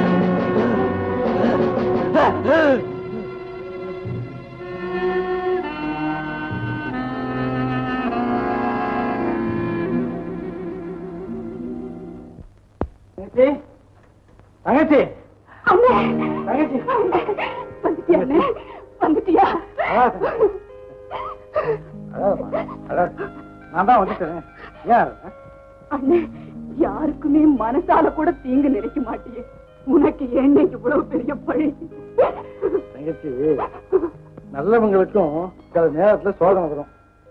ஆனா இந்த உண்மை இருக்க எப்பவுமே செத்து போவதில்லை சில சமயம் தூங்குது இப்ப விழிச்சுக்கிச்சு நான் விடுதலை ஆயிட்டேன். இவன் மாத்திரம் இல்லாத இருந்தா நீ என்ன பார்த்திருக்கவே முடியாதுன்னு. அப்படின்னா உன் உயிரை காப்பாற்றுறது இவன் சொல்லு கேட்கும் போதே தியாகியா பிறந்திருக்கான் போல் இருக்கு. அண்ணே இந்த குழந்தை யாருதுன்னு கண்டுபிடிச்சு கொடுத்துருவோம் தேடுவோம் கிடைச்சா கொடுப்போம். இல்ல நாம எடுத்துக்குவோம். ஆ, சொல்லு. எல்லாரும் சொத்துக்காக சீரா இருப்பாங்க. நம்ம கிட்ட என்ன இருக்கு? ஏய், என்கிட்ட அன்புதான் இருக்கு. வாங்கிக்கோ, போ. குட் மார்னிங் டாக்டர் அடே வக்கீல் சாரா வாங்க வாங்க. தொழில்லாம் எப்படி நடக்குது? நல்ல ஓட்டம் டாக்டர் அதாவது கேஸ் எல்லாம் ஜெயிக்குது கட்சிக்காரன் ஓடுறான் பேசுக்கு நீங்க துரத்துறீங்க இல்லையா? கேஸ் எல்லாம் தோக்குது உதைக்கிறதுக்கு என்ன கட்சிக்காரங்க துரத்துறாங்க நான் ஓடுறேன். பல பல. இது யாரு? நம்ம வைஃப் என் வைஃப் கங்க்ராச்சுலேஷன் தேங்க்யூ என்னம்மா சைக்கியமா அவ பேச மாட்டா டாக்டர். ஊமை. ஊமையா? Double congratulation doctor. அவளை பேச வைக்கிறதுக்கு அவங்க கிட்ட கூட்டிட்டு வந்திருக்கேன். அட பாவி. பேச முடியாத புண்டாட்டி வேற யாரு கிடைப்பா? நீங்க பூர்வ ஜென்மத்துல பண்ண புண்ணியம் அவங்க கிடைச்சிருக்காங்க. அவங்கள போய் பேச வைக்கணும்னு முயற்சி பண்றீங்களே உங்களுக்கு என்ன பைத்தியமா? டாக்டர் அவளோட நான் ஒரு டூயட்டாவது பாடிதான் ஆகணும். நீங்க தான் அவளை பேச வைக்கணும் டாக்டர். இம்பாசிபிள் அவ பிறவி இல்ல டாக்டர். அப்படியா? ஆக ட்ரை பண்றேன். வக்கீல் சார் என்ன? ஒரு விஷயம். என்ன? சண்டைக்கு போறதுக்கு முன்னாடி ஒரு தடவை யோசி. தற்கொலை பண்ணிக்கிறதுக்கு முன்னாடி ரெண்டு தடவை யோசி. கல்யாணம் பண்றதுக்கு முன்னாடி மூணு தடவை யோசின்னு சொல்லுவாங்க. ஆனா பொண்டாட்டிய பேச வைக்கிறதுக்கு முன்னாடி நூறு தடவை யோசிக்கணும். டாக்டர் கிட்ட போறதுக்கு முன்னால ஆயிரம் தடவை யோசிக்கணும். அதையே துணிஞ்சு செய்யறேன் பேச வைங்க டாக்டர் உங்க தலையெழுத்து அப்படி இருந்தா நான் மாத்த முடியுமா? வாங்க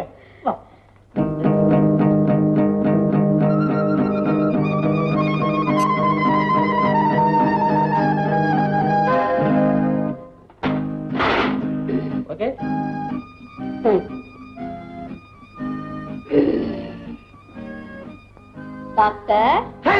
தேன்மொழி ஏன் டாக்டர்? என்ன சொன்னீங்க? என்ன சொன்னேன்? பொண்டாட்டிய பேச வைக்க கூடாதா? டாக்டர் நீங்க பேசும்போது நான் எல்லாத்தையும் கேட்டுக்கிட்டு தான் இருங்க இருங்க. என்னை பேச வைத்த தெய்வமே இந்த டாக்டருக்கு ஃபீஸ் கொடுக்க வேண்டாம்? ஆரம்ப நஷ்டமா எனக்கு தானே வாங்க பாரு எங்க? சைனா பஜாருக்கு எதுக்கு? எதுக்கா? உங்களை நான் கல்யாணம் பண்ணிக்கிட்டு என்ன சுகத்தை கண்டேன்? ஒரு நகை உண்டா நட்டு உண்டா? கேவலம் ஒரு திருகாணி குச்சி உண்டா? கிடையாது கிடையாது கிடையாது. வாங்க நேரா உம்முடியா கடைக்கு போய் நெக்லஸ் ஒட்டியானம் மோதிரம் தோடு மூக்குத்தி வளையல் லோலக்கு புல்லக்கு. நல்லா இருக்கு. முடியா இருக்கனே விலைக்கு வாங்கணும். அவ்வளவுதானே. எல்லாத்தையும் வாங்கி மூட்டை கட்டிக்கிட்டு பஸ்ல ஏறி மோட்டர் ரோட்டுக்கு வந்து அண்ணா கடைக்கிட்ட இறங்கி அங்க இருக்கிற ஒரு தியேட்டர்ல நல்ல இங்கிலீஷ் படமா பார்த்துட்டேன். முடியலையா இனிமேதான் இருக்கிற கிளைமேக்ஸ் ஆமா ஜிலு ஜிலுன்னு லைட்ட போட்டுக்கிட்டு வெஸ்டர்ன் டைப்ல புது புது ஹோட்டல்லாம் நிறைய இருக்குதாம். அங்க ரெண்டு பேரும் போய் அப்படியே ஜாலியா இறங்கி ஒரு ட்விஸ்ட் ஒரு சாச்சா சா சாச்சா சா சாச்சா சா இதோட தேவையில்ல. எனக்கு மயக்கமே வரும் போது இருக்கு. என்னது? மயக்கம் வருதா? யாசையில ஒரு போர்ஷன் சொன்னதுக்கே உங்களுக்கு மயக்கம் வருதா? அட பாவி புருஷனா பிறந்த ஒவ்வொரு பொண்டாட்டிய தலையில தூக்கி வச்சுக்கிட்டு ஆடுறான் யாருக்கும் தெரியாம சமையல் பண்றான் ஜடா பண்ணி விடுறான் நீங்க இதுக்கே மயக்கம் வருதுங்கிறீங்களா ஆண்டவனே பகவானே இந்த ஆளை கொண்டாந்து எந்த தலையில கட்டிட்டீங்க இது உனக்கே நல்லா இருக்கா ஐயோ ஐயோ டாக்டர் லாயர் தங்கச்சி எங்க நான் போறேன் அதாவது உனக்கு குழந்தையை காப்பாற்ற கடமை வந்து பாரு. அது மாதிரி ஒருத்தர் நாட்டை காப்பாற்ற வேண்டிய கடமை எனக்கு வந்திருக்கு. யாருன்னு அவங்க? கேட்காத. சமயம் வரும்போது சொல்றேன். குழந்தை பத்திரமா பாத்துக்க சரிங்க அவங்க அப்பா யாருன்னு தேடுறேன் பாப்போம்.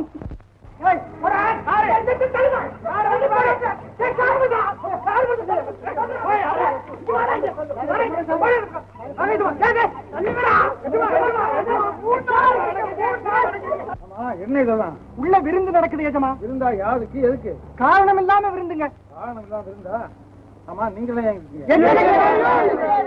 எத்தனை ஏதியா பிளேட்ல சாப்பிட போறவங்க தான் உள்ள இருப்பாங்க. இப்ப உங்களுக்கு என்ன சோறு வேணும்?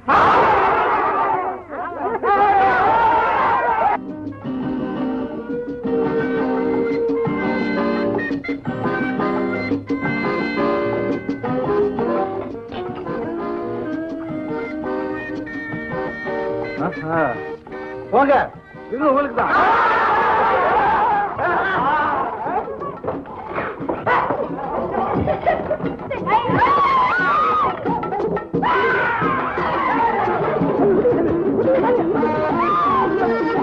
ஐயோ ஐயோ.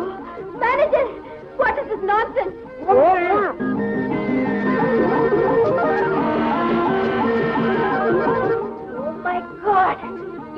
குடும்பத்துக்கெல்லாம் நான் விருந்து கொடுத்துட்டு இருக்கேன். இந்த பிச்சைக்காரங்களை எதுக்காக இங்க கூட்டிட்டு வந்தீங்க?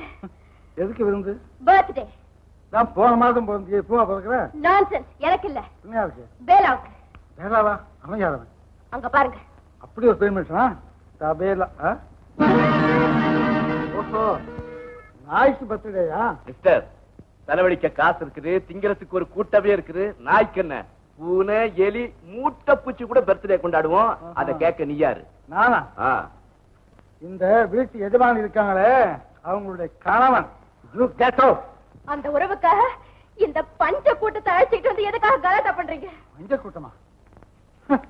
இவங்க தான் என் சொந்தக்காரங்க. இந்த பார் இவர் யார் தெரியுமா?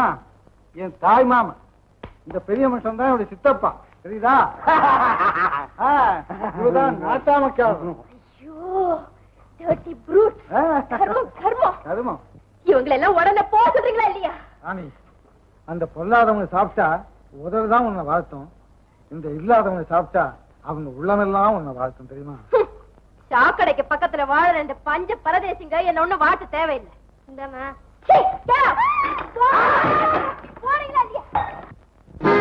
அடியாத்தி ஆத்தி. அடியாத்தி யாருக்கு நீ பேத்தி? உன் ஆணவத்தை மாத்தி இந்த ஏழைகளை ஏறெடுத்து பாரம்மா ராஜாத்தி பாரம்மா ராஜாத்தி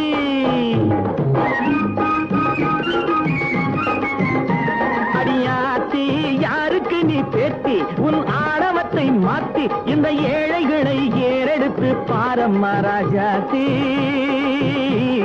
பாரம்மா ராஜாத்தி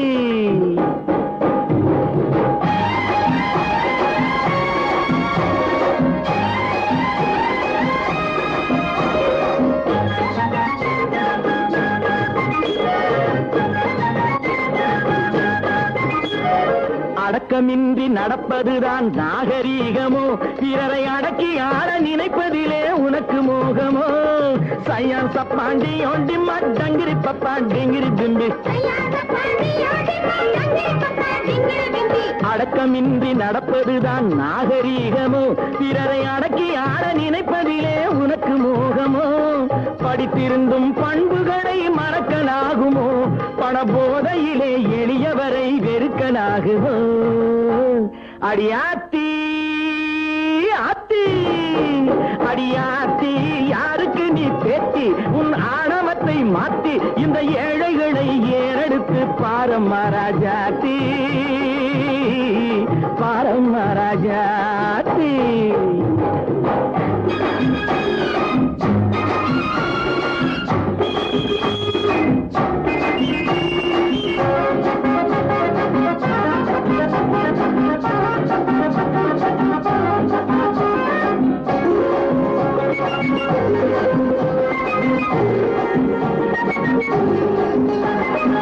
அருமையிலும் அருமையாக பிறவி கிடைக்குது. அதில் கருணை உள்ள மனிதரைத்தான் பெருமை அணைக்குது. ஹோய் சையான் சப்பாண்டி ஒண்டி பா டெங்கிரி பப்பா டெங்கிரி பிம்பி. உருட்டு கண்ணும் மிரட்டு சொல்லும் தரத்தினை குறைக்கும். ஒன்றை உருப்படியாய் செய்து வைத்தார் சரித்திரம் பிறக்கும். ஹேய்,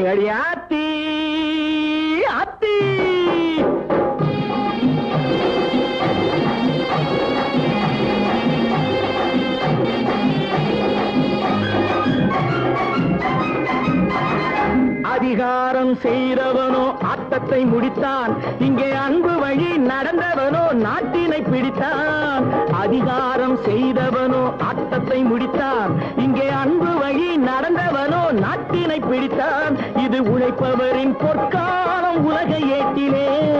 உழைப்பவரின் பொற்காலம் உலக ஏட்டிலே. இனி எத்தர்களின் வருங்காலம் குப்பை மேட்டிலே.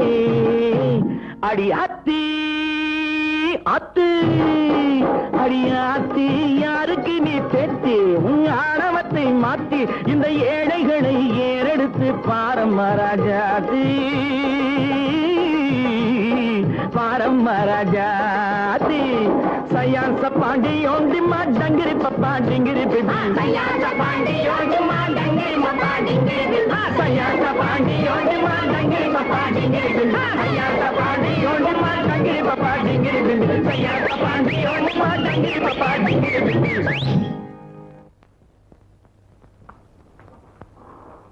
ஏன் ராணி வர சொல்லியாமே ஆமா நான் உங்களை கூப்பிட்டதுக்கு காரணம். நீ செய்ததெல்லாம் தவறுன்னு என்கிட்ட மன்னிப்பு கேட்கறதுக்காக இருக்காது நிச்சயமா எனக்கு தெரியும்.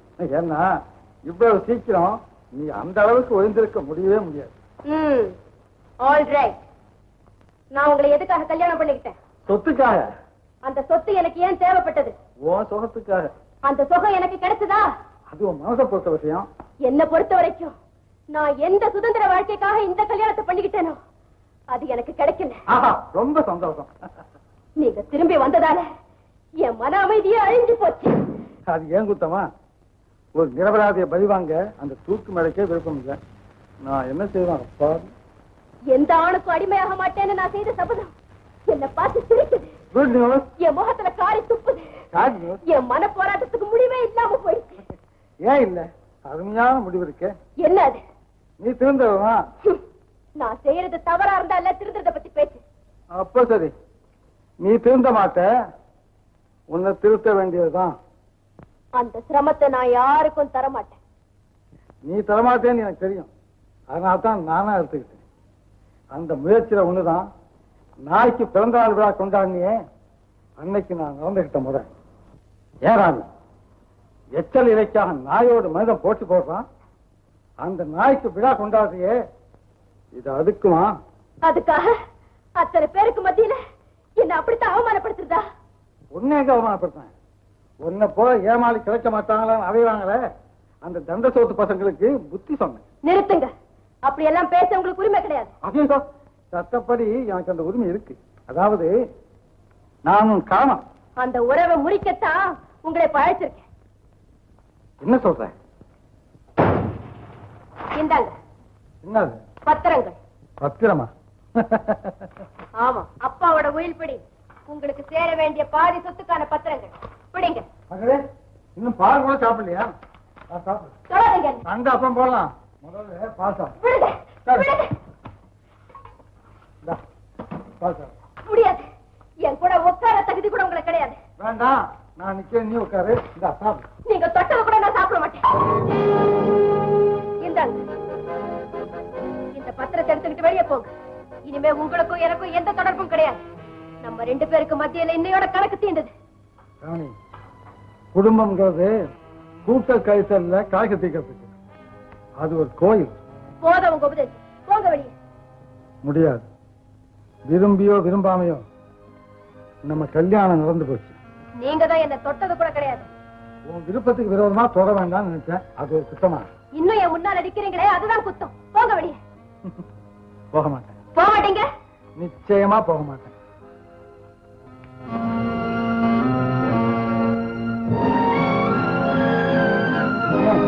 சுட போறியா சுடு மனைவியினுடைய கையால் சாகிற பாக்கியம் யாருக்கும் கிடைக்காது. நடக்கட்டும். இல்ல. லட்சியத்தோட வாழ முடியாதுன்னா என்னையே சுட்டுக்க போறேன். என்ன முடியாது.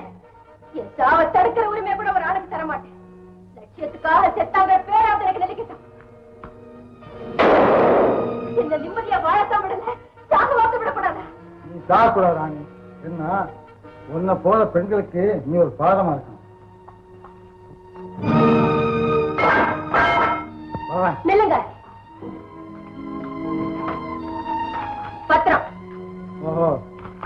கணக்கு ஒழுங்கா தேணும் இல்லையா? ஆமா ராணி சில குழந்தைகளுக்கு நெருப்பு சுடும்னு சொன்னா கேட்காது.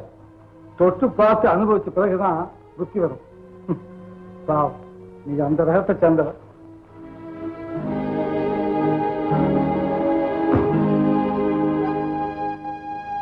தம்பி உண்மையிலேயே இந்த வீட்டை விட்டு போக போறீங்களா? ஆமா.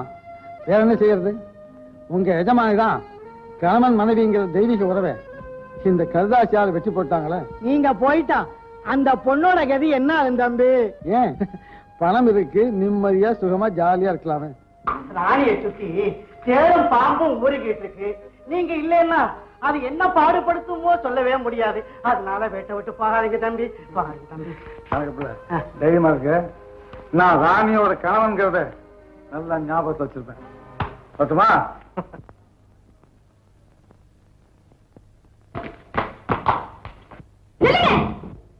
வாங்க இங்க. நான் உங்களுக்காக வெயிட் பண்ணிட்டு இருக்கேன். எங்க ஓடுறீங்க? ஆமா நேத்துக்கே ஒரு பீரோ வாங்கணும்னு சொன்னேன்ல. மறந்துட்டீங்களா? புதுசா வாங்கின படவையில எங்க வைக்கிறது? கொண்டு போய் வட்டி கடையில வை? உடவை வாங்கின கடனுக்கு ஒன்றும் தவணையே கொடுக்கல. தவணை சொன்ன ஞாபகம் வருது. தவணை முறைய பல புது இடங்கள்ல புகுத்தணும்னு. இன்னைக்கு மூணு மணி நேரம். நியர்லி த்ரீ ஹவர்ஸ் ஒரு சோடா கூட குடிக்காம எங்க மாதர் சங்கத்துல பேசினேன் டீட்டெயிலா சொல்றேன். கேக்குறீங்களா? கேக்குறீங்களா என்ன? கேளுங்க. வரதட்சணையை தடுக்க சட்டம் இருக்கிறது. இருந்தாலும் மறைமுகமாக அதாவது இல்லீகலா எல்லா பசங்களும் வாங்குறாங்க. பசங்க? எஸ் பசங்க. தாலி இல்லாமல் கூட கல்யாணம் நடக்கும். பட் வரதட்சணை இல்லாமல் ஒரு கல்யாணமாவது நடக்குமா? நடக்காது. பலாயிரம் ரூபாய்களை ஒரே சமயத்தில் கேட்பது தப்பு. அதையே கொஞ்சம் கொஞ்சமாக தவணை முறையில் வசூல் பண்ணணும்னு ஒரு புது பாயிண்ட் எடுத்து விட்டே பாருங்க. ஆட்டே எங்க அப்பா ஒரே கிளாஸ் நீ கொஞ்சம் தவணை முறையில பேசக்கூடாதா? ஒரேடியா பேசுறீங்க தேங்க்யூ இன்னொரு பாயிண்ட் ஓடு கொல்லு என்ன? இந்த ஆம்பளைங்களுக்கு ஒரு புது பேரை create பண்ணிருக்கிறேன் new name most fitting name பெண்களை பெண்டாட்டி என்று கூப்பிடும் ஏ ஆண் பிள்ளைகளே உங்களை நாங்கள் ஏன் ஆண்டாட்டி என்று கூப்பிடக்கூடாது? அப்படின்னு போட்டேன் ஒரு போடு. என்ன மாதிரி ஆம்பளைங்கள? பொண்டாட்டின்னே கூப்பிடலாம். மெம்பர்ஸ் எல்லாம் அப்படியே மேடைக்கு ஜம்ப் பண்ணி வந்து என்ன கட்டி பிடிச்சு கிஸ் பண்ணிட்டாங்களே. ஐயோ எல்லாரும் பொம்பளைங்க தானே? மாத சங்கம். இன்னொரு பாயிண்ட் ஐயோ ஐயோ ஐயோ. பாயிண்ட் பரமசிவம். நீ பொண்ணை பத்தியா இல்ல பாயிண்ட பத்தியா? இப்படி பாயிண்ட் பாயிண்டா போட்டு போர் அடிக்கிறாளே. ஓ மை காட் அரசியல் கூட்டம்னு அஞ்சு மணி நேரம் கால் கடுக்க நிக்கிறீங்க? கை கட்டி ரசிக்கிறீங்க? ஆனா என் பேச்ச போர்னு சொல்லிட்டீங்க. இல்ல இருங்க இருங்க. இன்னையில இருந்து மூணு நாளைக்கு பட்டினி. நான் இல்ல நீங்க.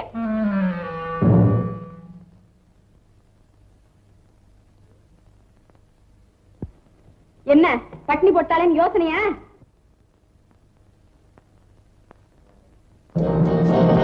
வாய் அடக்கிறதுக்கு என்ன வழி? கொலை. ஆமா. இவளை தீர்த்து கட்டினாதான் நான் நிம்மதியா வாழ முடியும்.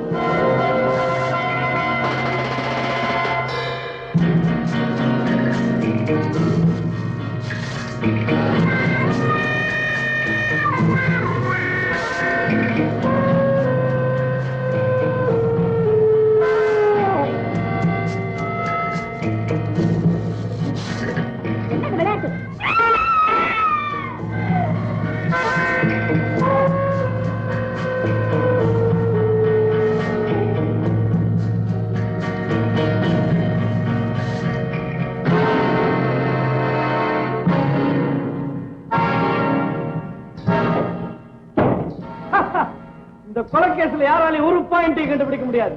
பாயிண்டே கொன்னாச்சு. கொலை இல்ல நான் கொலை செய்யல. இத தூக்கிட்டு போக வந்த மாதிரி கரெக்டா நாலு பேர் வந்திருக்கீங்களா சார். இல்ல நான் கொலை செய்யல. நான் கொலை செய்யல. நான் கொலை செய்யல. இல்ல இல்ல இல்ல இல்ல. ஏன் ஏன் ஏன் ஏன்? ஏன் இப்படி கத்துறீங்க? ஏதாவது கனவு கனவு கண்டீங்களா? இல்ல. இந்த உலகத்துக்கு ஒரு நல்ல காரியம் செய்யலாம்னு நினைச்சேன். எல்லாம் கரெக்டா பிளான் கூட பண்ணி வச்சுட்டேன். கடைசியில துணிச்சல் வரல. உங்களுக்கு எதுக்கு தான் துணிச்சல் வந்தது? ஆ துணிச்சல் ஞாபகம் வருது. இன்னைக்கு மாதர் சங்கத்துல அந்த துணிச்சலை பத்தி அடிச்சே பாருங்க ஒரு பாயிண்ட் ஐயோ பாயிண்ட் பாயிண்ட் பாயிண்ட் பாயிண்ட் அம்மா அம்மா அம்மா அம்மா. என்ன கணக்கு பிள்ளை? கோர்ட்ல இருந்து நோட்டீஸ் வந்திருக்கம்மா ஆமாமா நீங்க கொடுக்க வேண்டிய பல லட்சம் ரூபாய் கடன்களுக்காக உங்க சொத்தையெல்லாம் ஏலம் போட சொல்லி உத்தரவாயிருக்கம்மா. கடனா? எனக்கா? ஆமாமா இருக்கிற சொத்தையெல்லாம் வித்தா கூட தீராத கடன். எது? கூப்பிடுங்க மேனேஜர் மேனேஜர் மேனேஜர் என்னம்மா? என்ன மேனேஜர் இது? ஏதோ கடனா ஏலமா? என்ன இதெல்லாம்? கணக்கு பிள்ளை கொஞ்சம் போறீங்களா? ஏது மேனேஜர் கடன்? வாங்குறது. யார் வாங்குனது? உங்க பேரால நான் வாங்குனது. ஏன் எதுக்காக? சொல்றேன். சொல்ல வேண்டிய வேலை வந்தாச்சு. இனிமே நான் மறைக்க மாட்டேன். அன்னைக்கு ஒரு நாள் கடை வாங்கறதுக்காக சரமாரியா கையெடுத்து போட்டு தள்ளுனீங்களே அந்த பேப்பர்களை எல்லாம் பயன்படுத்தி நான் ஏராளமா கடை வாங்கிருக்கேன் அந்த பணமெல்லாம் எங்க? இருக்கு. எனக்கு சொந்தமா என்கிட்டயே இருக்குது. வெளிப்படையா பச்சையா சொல்ல போனா உன் ஏமாளித்தனத்தை பயன்படுத்தி நான் திருடிக்கிட்டேன் திருடிக்கிட்டியா? அது மட்டுமல்ல இதோ பார் காதல் கடிதங்கள். கள்ளக்காதலனாகிய எனக்கு கவர்ச்சி கன்னியாகிய நீ எழுதிய ரகசிய லவ் லெட்டர் என்னது? நான் உனக்கு எழுதுனதா? இல்ல உன் பேரால நானே எழுதிக்கிட்டேன். தம்பி தம்பி! சுத்தம் பண்ணாங்க நான் இங்க இருக்கிற ராணி தெரிய வேண்டாம் உங்க சொல்றது? இந்த மேனேஜர் ரெக்கார்ட் எல்லாம் காட்டி ராணியை பயமுறுத்துறானே. ராணி வா. ராணியை யாராலும் பயப்படுத்த முடியாது. நீங்க பயப்படாம இருங்க. என்னைக்கு நீ என் கன்னத்துல அடிச்சியோ அன்னைக்கே உன் இதயத்தை சம்மட்டியால அடிக்கணும் உடைச்சு நொறுக்கணும்னு முடிவு கட்டிட்டேன். அது மட்டுமல்ல வெத்து காகிதத்துல நீ கையெழுத்து போட்டு கொடுத்தியே அதுல அழகழகா ஆபாசத்தை கலந்து காமரச கடிதங்களை எழுதிக்கிட்டேன். கடிதத்தை படிக்கணும்னு துடிக்கிறியா? கேளு மாதிரிக்கு ஒண்ணு நானே படிக்கிறேன். அன்புள்ள அத்தா ஆ? நம் காதலுக்கு தடையா? கணவன்கிற பட்டத்தோட இருந்தானே வேலையா? அவன் கழுத்தை பிடிச்சு வெளியே தள்ளிட்டேன் இதய ராஜா இன்ப ரோஜா. இரவு வாருங்கள் இன்பம் தாருங்கள். கேட்டீங்களா கேட்டீங்களா கேட்டீங்களா இந்த மேனேஜரு ராணி இந்த உலகத்தை தெரிஞ்சுக்கிறதுக்கு இது ஒரு நல்ல வாய்ப்பு. பேசாம. ஏன் அலற இன்னும் படிக்கிறேன் கேளு அன்பி ஆறுகிறே நேற்றிரவு மஞ்சத்திலே கொஞ்சியதை நினைத்தால் என் நெஞ்சமெல்லாம் இணைக்கிறது. எனக்கு சொர்க்கத்தை காட்டிய சுந்தர புருஷா. இந்த கடிதங்களை நான் என்ன செய்ய போறேன் தெரியுமா? இதுக்காகவே காத்துக்கிட்டு இருக்கிற பத்திரிகைகளுக்கு கொடுப்பேன்.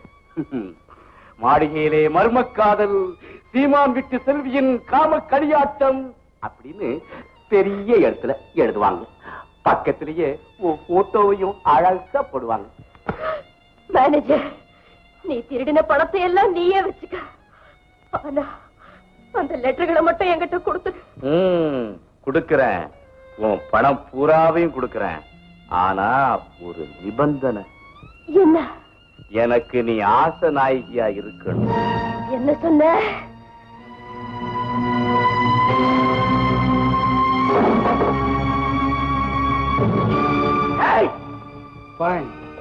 ஆமாப்ல, எப்படி ராணி? இனிமே நாளைக்கு இந்த வீடு ஏறம் போகும். அதே சமயத்துல இந்த காதல் கடிதங்கள் காத்துல பறக்கும். காதல் லீலைகளை கேட்டு ஊ சிரிக்கும் காரி துப்பும்.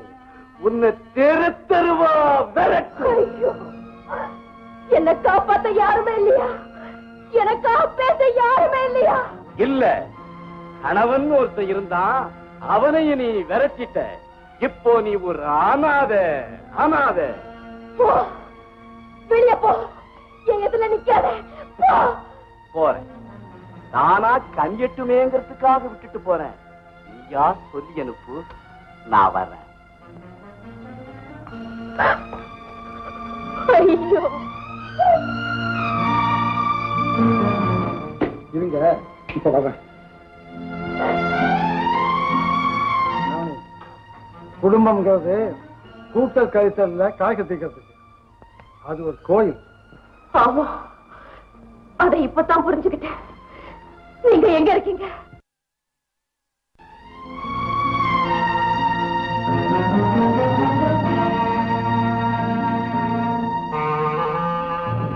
வணக்கம் சார். ஐயா சாரி நீங்களா நானே தான் உங்ககிட்ட ஒரு முக்கியமான விஷயம் பேசணும். சரிங்களா? முக்கியமான விஷயமா? என்ன? எங்க? ஏன் ஏன்? சார் இப்படி பயப்படுறீங்க? பயமா? எனக்கு ஒன்றும் பயம் இல்ல குமார் போவோம் வாங்க. மிஸ்டர் இந்த பக்கம்.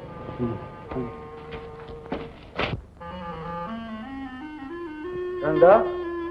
ராணி உனக்கு லவ் லெட்டர் இருந்தா எழுதி வச்சிருக்கியா? என்ன திமிர்தான்? என்ன மன்னிக்க மாட்டீங்களா? என்ன மன்னிக்கவே மாட்டீங்களா? ராணி அகங்காரமோ ஆணவமோ உன்னை எவ்வளவு பாதாளத்துல தள்ளிடுச்சு பாத்தியா? நல்ல கணவர் கிடைச்சு அவரை வீட்டை விட்டே விரட்டின இனி அவர் முகத்துல நீ எப்படி முழிப்ப? எப்படி முழிப்ப? ராணிய மனைவியும் திரும்பல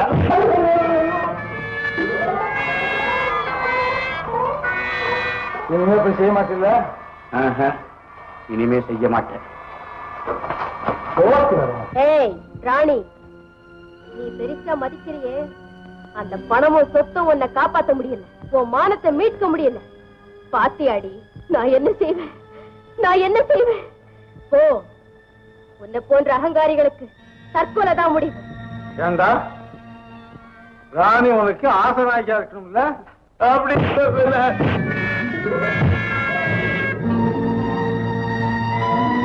தற்கொலை தான் முடிவு. தற்கொலை தான் முடிவு. தற்கொலை தான்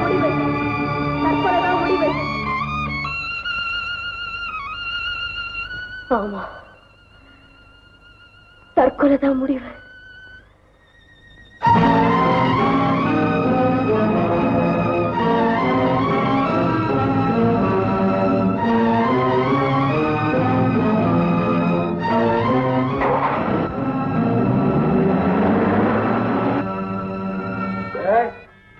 ராணிய தேர்தலவா அலையப்பன்னு சொன்னீங்கல்ல போகலையே இந்த கோலத்தோட நான் எப்படி வெளியில போவேன்?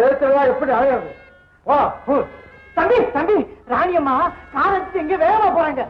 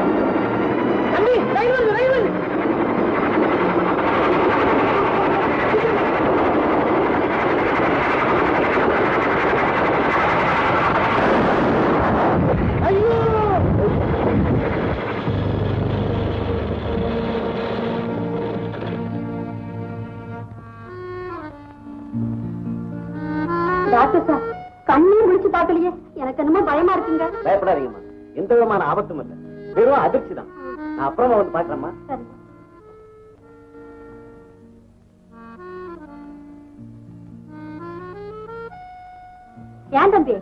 கண்ணு முடிச்சதும் கேட்டா? நான் தான் கொண்டாந்தேன்னு சொல்லாங்க யாரோ காப்பாத்தான்னு சொன்னேன் ஏன்ப்பா அப்படி சொல்லணும் உங்ககிட்ட தான் என் கதையெல்லாம் சொல்லியிருக்கேன். இப்ப ராணிக்கு எதுவுமே தெரிய வேண்டாம். குணமானதும் நான் சொன்னபடி செய்யுங்க ஜாக்கிரதையா பாத்துங்க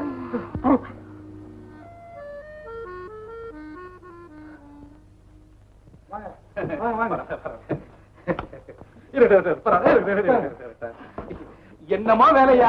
உங்களை பத்தி நாங்க கூட தப்பா நினைச்சிட்டோம். நல்ல வேலை நீங்களும் நிரபராதின்னு தெரிஞ்சு போச்சு. இனிமே கல்யாணத்துக்கு எந்த வித தடையும் இல்ல. சீக்கிரத்துல முடிச்சிடுவோம். பரவாயில்ல.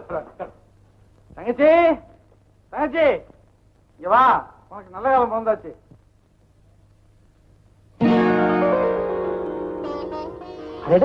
நீங்களா? சௌக்கியமா இருக்கீங்களா? குழந்தை நல்லா இருக்கா? ஆ நல்லா இருக்குங்க. ஏண்டா ஏற்கனவே பொண்ணை பாத்திருக்கிய பிறகு எதுக்கு பொண்ணை பார்க்கணும் பொண்ணை பார்க்கணும்னு என்ன தொந்தரவு பண்ண? ஏப்பா இவங்களா கல்யாண பொண்ணு? ஆமா. ஆமா. இதுதான் என் தங்கச்சி. அப்பா நீங்க ஏமாந்துட்டீங்க. இந்த அம்மா ஒரு குழந்தைக்கு தாய். ஏய் என்னடா சொல்ற? ஆமாப்பா. இந்த அம்மாவையும் இவங்க குழந்தையும் நான் ஏற்கனவே பார்த்திருக்கிறேன். ஓ அத சொல்றீங்களா? ஏன் மாப்ள அகவாள் வச்சிருக்க அத்தனை பேரும் கொலையாளங்களா? ஆமாண்டா. வாழ போற பொண்ணு மேல இப்படி அபாண்டமா பழி சுமத்தக்கூடாது. நான் சொல்றத கொஞ்சம் கேளுங்கப்பா. ஒரு நாள் இவங்க மயக்கமா விழுந்து கிடந்தாங்க. நான் போய் உதவி செஞ்சேன். இந்த குழந்தை யாருதுன்னு கேட்டேன். ஏழைகளுக்கு தான் ஆண்டவன் குழந்தையை கொடுக்குறான்னு சொன்னாங்க. அப்படி சொன்னாங்களா இல்லையான்னு நீங்களே கேளுங்கப்பா. அண்ணே நான் சொன்னதெல்லாம் உண்மைதான். ஆனா அந்த அர்த்தத்துல நான் சொல்லவே இல்லைண்ணே அப்படின்னா குழந்தையோட அப்பா யாரு அம்மா யாருன்னு கேளுங்கப்பா. அது தெரிஞ்சிருந்தா தான் நாங்க ஏற்கனவே சொல்லியிருப்போமே. வேலையா உங்க தங்கச்சியை நீங்க நம்பலாம் நானும் நம்பலாம் ஆனா உலகம் நம்பணுமே. என்னமோ நமக்குள்ள கொடுத்துச்சு அவ்வளவுதான். ஏய் புறப்படுற.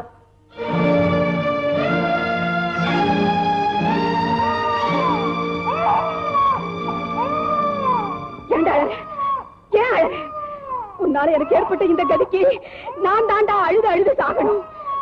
பாம்பு கிட்ட இருந்து உன்னை காப்பாத்துரு இந்த பழியில இருந்து என்ன காப்பாத்திக்க முடியலையே. அழுகைய நிறுத்து. தங்கச்சி நீ செய்த பாபத்துக்கு அந்த குழந்தையும் திட்டுற. நீயுமா சந்தேகப்படு. வேண்டாண்டே வேண்டாம். அத மட்டும் என்னால தாங்க முடியாது அட பைத்தியமே. நான் பாவம் சொன்னது ஒண்ணே இல்ல. ஒரு உயிரை காப்பாத்துறது கூட இந்த உலகம் பாவம் நினைக்கிறது பார்த்தியான்னு சொன்னேன். இதுக்காக நான் உதவி செய்யாம இருக்க முடியுமா? அண்ணே நீ என்ன சந்தேகப்படலையே? அதே எனக்கு போதும் இந்த குழந்தைக்கு தாய் நீ தான் நீயே சொல்லு. நான் நம்புவேனா? நீ ஏன் தங்கச்சிம்மா? கொண்டா இப்படி. அப்பா ஏய் நீ என்னமோ அழுதுட்டு இருக்க? இங்க என்னென்ன கூத்து நடக்குது பாத்தியா ஆமா. ஏய் உங்க அப்பா அம்மா யாரா சொல்டா கண்ணு. தெரியாதா? ஏய் நானே கண்டுபிடிக்கிறேன் பாரு இப்படி வெளியே தெருவ வந்து பத்து பேரை பார்க்க கொள்ள இருந்தா உன் கவலை கொஞ்சம் குறையுமென்னு தான் அவன் இங்க அழைச்சிட்டு வந்தேன். இப்படி உட்காந்துரு நான் வேலைக்கு போயிட்டு வந்துடுறேன். வரட்டுமா?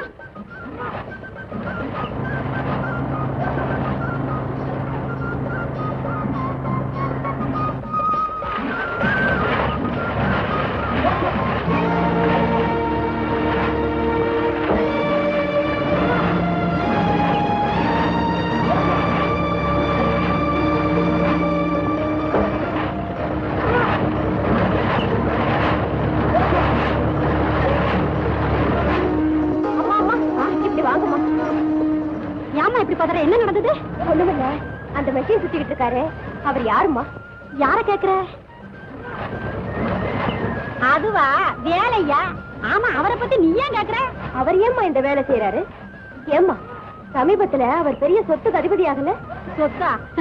அவருக்கு ஏதும்மா சொத்து? என்ன போல ஏழை ஜனங்க தான் சொத்து? ஆமா நல்லா படிச்ச பிள்ளம்மா. ஆமா நீ ஏன் வெயில நிக்கிற? அவரே நிக்கிறாருமா ஆ என்ன சொன்ன? ஒண்ணுமில்லையே சரி சரி உக்காரு இத வந்துடுறேன். Thank you.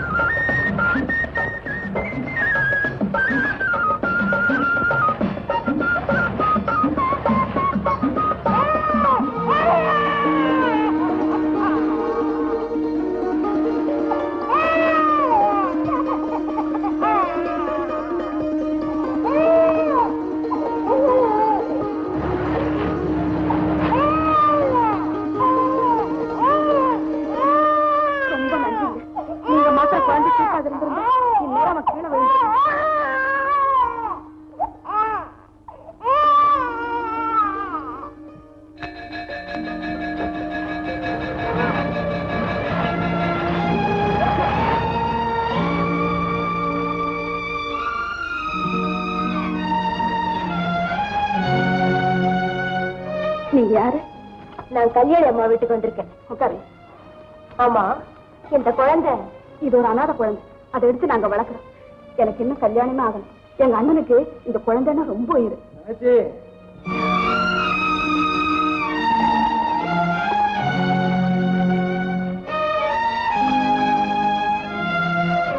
கேட்டியா செய்திய அதாவது காரும் ரயிலும் மோதிச்சான். ஒரு பெண்ணு. காரும் ரயிலும் மோதல். சீமான் சிதம்பரத்தின் ஒரே மகள் ராணியின் பரிதாப மரணம் ஊர்கோடியிலே இருக்கும் ரயில் பாதையில் இந்த பயங்கர விபத்து நடந்தது. கார் பாதையை கடந்து செல்லும் போது வேகமாக வந்த ரயில் அதன் மேல் மோதியது. உடனே கார் வெகு தூரம் உழுந்து தீப்பிடித்தது. காரில் வந்து கொண்டிருந்த ராணி தீயில் கருகி மரணமடைந்தாள். உடல் அடையாளம் தெரியாதவாறு எரிந்து சாம்பலாகிவிட்டது ஐயோ பாவம். யாருன்னு அந்த ராணி? ஐயா பாமாவது ஹம். அந்த ராணியை போல பொண்ணு இந்த உலகத்தை பிறக்கவே கூடாது. என்ன கேள்வி கேட்க அர்த்தம் இல்லாம முட்டாள்தனமா ஏதோ லட்சம் சொல்லிட்டு இப்ப அநியாயமா அழிஞ்சு போச்சு. அவளுக்கு வேண்டியதான் இவ்வளவு கோபமா பேசுறீங்க அவளை நீ பாத்திருக்கியா பார்த்துருக்கேன் நான் பார்த்துருக்கேன். நல்ல வேலை இன்னொரு தடவை பார்க்கல. பார்த்துருந்தேன். ஒண்ணு அவளை கொண்டு இருப்பேன் இல்ல நான் செத்து இருப்பேன் சரி சரி சாப்பாடு கொடு.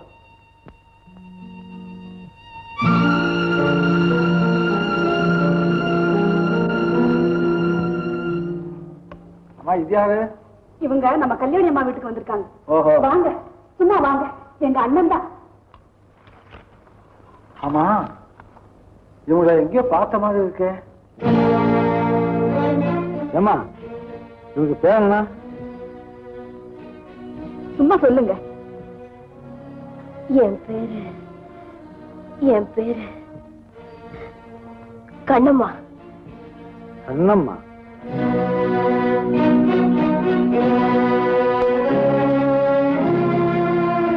ஏன் தங்கச்சி?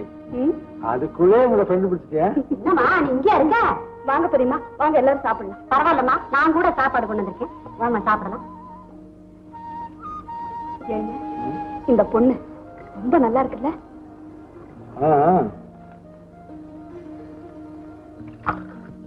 சாப்பிடுமா சாப்பிடு. அம்மா என்னையும் இந்த வேலையில சேர்த்து விடுங்கம்மா. ஏம்மா? இனிமேலும் உங்ககிட்ட மறைக்க விரும்பலம்மா. அவர் சொல்லுமா? அவர்தான் என் கணவர்? அப்படியா? இவ்வளவு நல்ல பிள்ளை உனக்கு கணவனா கிடைச்சும். நீ ஏம்மா தற்கொலை பண்ணிக்க போன? அதாம்மா நான் செஞ்ச பெரிய தப்பு. நான் செத்திருந்தா என் துன்பங்கள்ல இருந்து விடுதலை கிடைச்சிருக்கும். ஆனா நான் செஞ்ச பாவங்களுக்கு பரிகாரம் தேடுற சந்தர்ப்பமே எனக்கு கிடைச்சிருக்காது. சரி வாமா போகலாம். வேண்டாம்மா. நான் யாருன்னு அவருக்கு தெரிய வேண்டாம். ஏம்மா தெரிய வேண்டாங்கிற? நான் செத்துட்டுதான் நினைச்சுக்கிட்டு இருக்காரு அப்படித்தான் பேப்பர்லயும் போட்டிருக்காங்க. ஆமா இப்ப உங்ககிட்ட பேசினாரே அப்ப கூடவா நீ யாருங்கிறத புரிஞ்சுக்கல? எப்படிம்மா புரிஞ்சுக்க முடியும்? ஆனா பெண்ணான்னு புரிஞ்சுக்க முடியாதபடி கண்ட கண்ட உடலை நடமாடிக்கிட்டு இருந்தேன். இந்த மாதிரி உடலை வருவேன் அவரால கற்பனை கூட செஞ்சு பார்க்க முடியாது. ஆனா அவர் கூட சந்தேகப்பட்டு கேட்டார் உன்னை எங்கேயோ பார்த்த மாதிரி இருக்கேன்னு. நான் தான் என் பேரை மாத்தி கண்ணம்மான்னு சொல்லிட்டேன். அவரும் நம்பிட்டார். இப்பதான் நம்பிட்டாரு. என்னைக்காவது உண்மை தெரிஞ்சுட்டா? தெரியற வரைக்கும் நான் அவர் கூடவே இருக்கேன். அவருக்கு பணிவிடை செய்யறேன். என் கண்ணீரால அவர் பாதங்களை கழுவுறேன் கண்ணம்மாவா இருந்து அவரை கணவரை அடைய முயற்சி செய்யறேன். இப்படி எத்தனை நாளைக்கு தான் வேற பேரோட வாழ்றதும்மா நான் பழைய ராணிதான் அவருக்கு தெரியற காலத்துல. என்ன மன்னிச்சு. நீதான் என் மனைவின்னு சொன்னா சரி. இல்லன்னா? இல்லன்னா? சாகவ வழி இல்ல. நிச்சயமா உனக்கு அந்த நிலைமை வராதும்மா. இன்னைக்கே உன்னை வேலையில் சேர்த்துடுறேன். சாப்பிடுமா? சாப்பிடு. மூச்சு விடணும். முள்ளமா முள்ளமா போதும் போதும். காதை சூடா இரும்போது இப்ப உங்க தாயார் உடம்பு இழைக்கணும். Sir sir sir. தயார் இல்ல சார். சம்சாரம் சார். சாரி. உங்க சம்சாரத்து உடம்பு இழைக்கணும். ஆமா சார். அவ்வளவுதானே? இந்த மாத்திரைய தினம் அஞ்சு வேளை. சாப்பிடுறேன் சார். இல்லம்மா தினம் அஞ்சு வேளை. கீழே கொட்டி நீங்க அதை அஞ்சு நிமிஷத்துக்குள்ள குனிஞ்சு குனிஞ்சு பொறுக்கணும். பொறுக்குறீங்களா? அட பொறுக்கிறேன்னு சொல்லுங்கம்மா. பொறுக்குறேங்க. அப்படி நாற்பத்தெட்டு நாள் பொறுக்குனா நிச்சயமா உங்க உடம்பு இழைக்கும். அண்டர்ஸ்டாண்ட் புரியுது? இந்தாங்க நீங்களே வாங்கிக்கணும் டாக்டர் டாக்டர் டாக்டர் நீங்க எவ்வளவோ சொன்னீங்க நான் கேட்கல. தேன்மொழி பேச்ச என்னால தாங்க முடியல. ஓயாம பேசிக்கிட்டே இருக்கிறா டாக்டர். ஓயாத பேச்சா?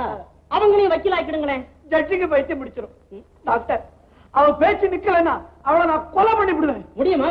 முடியலன்னா உங்களை கொலை பண்ணி விடுவேன். டாக்டர் அவளை எப்படியாவது மறுபடியும் ஊமையாக்கிடுங்க டாக்டர். அது முடியாது. உங்க சம்சாரம் பேசுறது உங்க காதல் விழாம இருக்கணும்னா உங்களை வேணும்னா சவுடாக்கிறேனே அது சூடாக்கிறீங்களா டாக்டர் சும்மா சொல்லக்கூடாது. உங்களை மாதிரி நல்ல டாக்டர் கிடைக்கவே மாட்டாங்க. உங்களால முடிஞ்சது செய்யுங்க. காதல் காது வச்சா அப்படி காரியத்தை நான் முடிக்கிறேன்.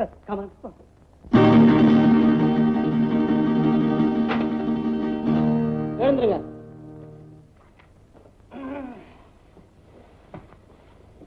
இனிமே உங்க காது கேட்காது. முழு செவிடு. என்ன சொல்றீங்க? என்னவா? அதாகப்பட்டது உங்க சம்சாரம் பேசுறது இனிமே உங்க காதுல விழுகாது. என்ன டாக்டர் நீங்க? நீங்க எதுக்கா என் காலில் வந்து விழ போறீங்க? வேண்டியதுதான் ஈஸ் எடுங்க. உறக்க பேசுங்க. பணம் கொடுங்க. உறக்க பேசுங்க சொன்னா இல்லையா? இந்த காதுல விழ செவிடா. ம் தொண்டை கட்டி இருக்கு. அதாவது காசு கொடுங்க. காசு காசு காசு கொடுக்க போறீங்களா? காசிக்கு போறீங்களா? போயிட்டு வாங்க போயிட்டு வாங்க.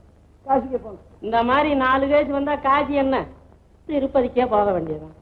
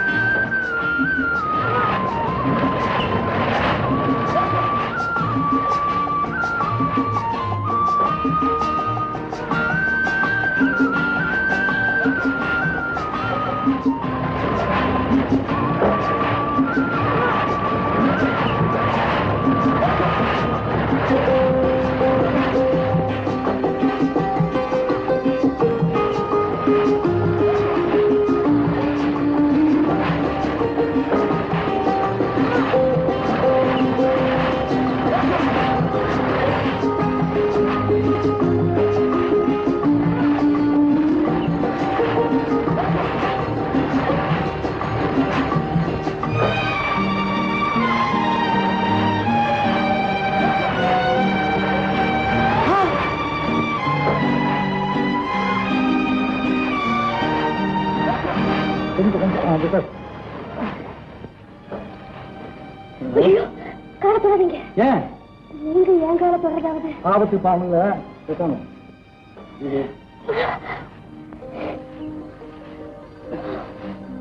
அம்மா இந்த வேலைக்கு புதுசா? உன்னை பார்த்தா பெரிய பணக்கார வீட்டு பொண்ணு மாதிரி இருக்கணும் ஐயோ அப்படியெல்லாம் ஒண்ணுமில்லைங்க. நீங்களும் நானும் ஒண்ணுதான். எப்படி சொல்றேன்? அதாவது நானும் உங்களை மாதிரி ஏழைன்னு சொல்றேன். நீங்க என்ன சொன்னாலும் உன் முகத்துல அந்த பணக்கார கலை அப்படியே தாண்ட மாதிரி தான் அதான் பொண்ணா போச்சுமா? ஆமா இந்த வேலை செய்யறது ரொம்ப கஷ்டமா இருக்குல்ல? கஷ்டமா இருந்தாலும். மனசுக்கு நிம்மதியா இருக்குங்க. அப்போ நான் உன் சொல்ல கேட்கறியா நீங்க என்ன சொன்னாலும் கேக்குறேன். இந்தா செருப்பை உன் காலில் மாட்டி இருக்கும் ஐயோ வேண்டாங்க. அப்புறம் நீங்க என்ன செய்வீங்க? நான் எப்படியும் அட்ஜஸ்ட் பண்ணிக்கிறேன். நீங்க மட்டும் வெயில நடக்கலாமா? எனக்கு பழகி போச்சு. நீ போட்டுக்க. நான் மாட்டேன். போக மாட்டியா தெரியுமே. நான் சொன்னா நீ கேட்க மாட்டேன்னு தெரியும். இல்லைங்க. சத்தியமா நீங்க சொன்னபடியே கேக்குறேன் போட்டுக்க.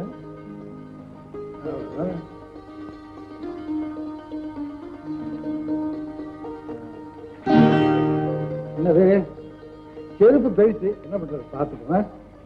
பார்த்து சொல்லலாம்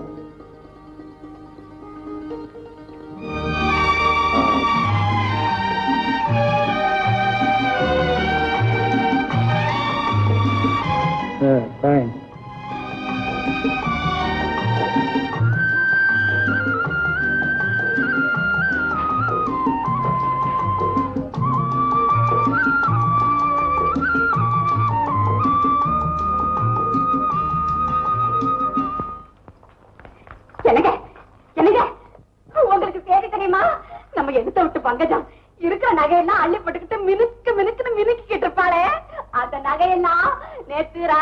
முகமூடி கொள்ளக்காரன் வந்து அள்ளிக்கிட்டு போயிட்டானே. என்ன பதிலையே காணோம். ஐயோ இவருக்கு காது கேட்காதே. இந்த மாதிரி அடுத்த வீட்டுக்காரியை பத்தி எடுத்த வீட்டுக்காரியை பத்தி நான் நூறு கதை வச்சிருக்கேனே. அதெல்லாம் நான் யார்கிட்ட சொல்லி அழுவேன். ஆனா அதுதான் போகட்டும். நல்லா லீவு விட்டாலும் விட்டா.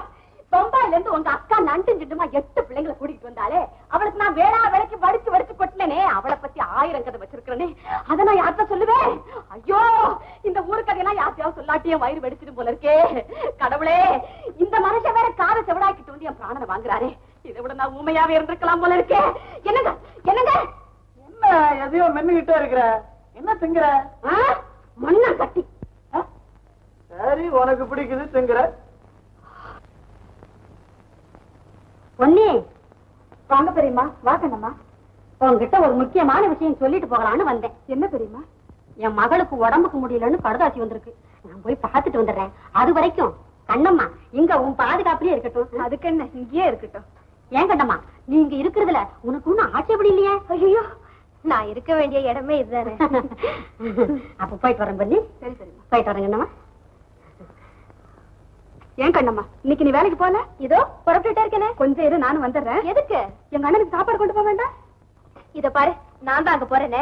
நானே அவர்கிட்ட கொடுத்துறேன் ஐயோ முன்ன பின்ன தெரியாதவங்க கிட்ட கொடுத்து அனுப்பிச்சா எங்க அண்ணன் கோச்சுக்குவாரு அதெல்லாம் ஒண்ணும் கோவிச்சுக்க மாட்டேன் கொண்டா. எங்க அண்ணனுக்கு பரிமாறணுமே? ஏன்? எனக்கு பரிமாற தெரியாதா என்ன? நானே கொண்டு போறேன். நீ பேசாம. இப்படிப்பட்டவன் எனக்கு அண்ணியா கிடைச்சா எப்படி இருக்கும்? நல்லா தான் இருக்கும்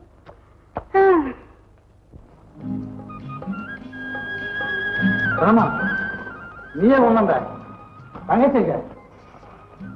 சுகமா வீட்டுல இருக்கா. நல்லா தங்கச்சி தங்கச்சின்னு உயிரை விடுறீங்க. நான் தான் வேலைக்கு போறேன் நானே கொண்டு போறேன்னு எடுத்துட்டு வந்துட்டேன். ஏன்? நான் சாப்பாடு போட்டா கசக்குமா? அப்படி ஒண்ணும் இல்லை. ரொம்ப சந்தோஷம். ஏமா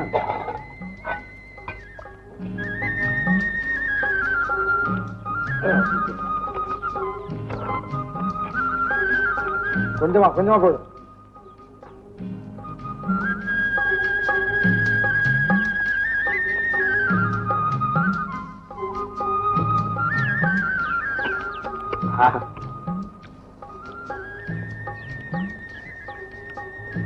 சட்னி ரொம்ப பிரமாதம்.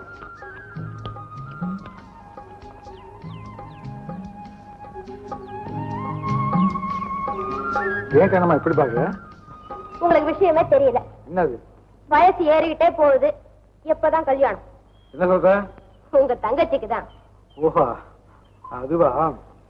கண்ணம்மா சீக்கிரத்துல முடிச்சிடும் நீங்க ஒரு பைத்தியம். அண்ணங்கார நீங்க இருக்கீங்க. உங்களுக்கு கல்யாணம் ஆகாம தங்கச்சி கல்யாணம் செய்துக்குமா? ஓஹோ நீ அங்க வர்றியா? ஆமா ஆமா அங்கேயேதான் வரேன். கண்ணம்மா நான் கல்யாணம் பண்ணிக்கிட்டேனே ஒரு பொண்டாட்டி. அப்பா பாப்பா பாப்பா பொண்ணா பாவி பாவி பாவி. ஐயோ நினைச்சா. மாதிரி இருக்க. ஓஹோ ஒரு பொண்ணை நான் திட்டினது உனக்கு அப்படியா? இல்ல இல்ல. அவளை நீங்க திட்டினது நியாயம்தான். அவ செஞ்ச துரோகத்துக்கு நானா இருந்தா அவளை கொன்னே இருப்பேன். ஏங்க ஒருவேளை அவ திரும்பி வந்து உங்க கால வேண்டு மன்னிப்பு கேட்டா? நீ ஒரு பைத்தியம். செத்தவ எங்க திரும்பி வர போறா? நான் போயிட்டாளே ஆமா ஆமா அந்த திமிர் பிடிச்ச ராணிதான் செத்து போயிட்டாளே. அது சரி. நீங்க ரெண்டாம் கல்யாணம் செய்துக்கிட்டேன்னா. கல்யாணமா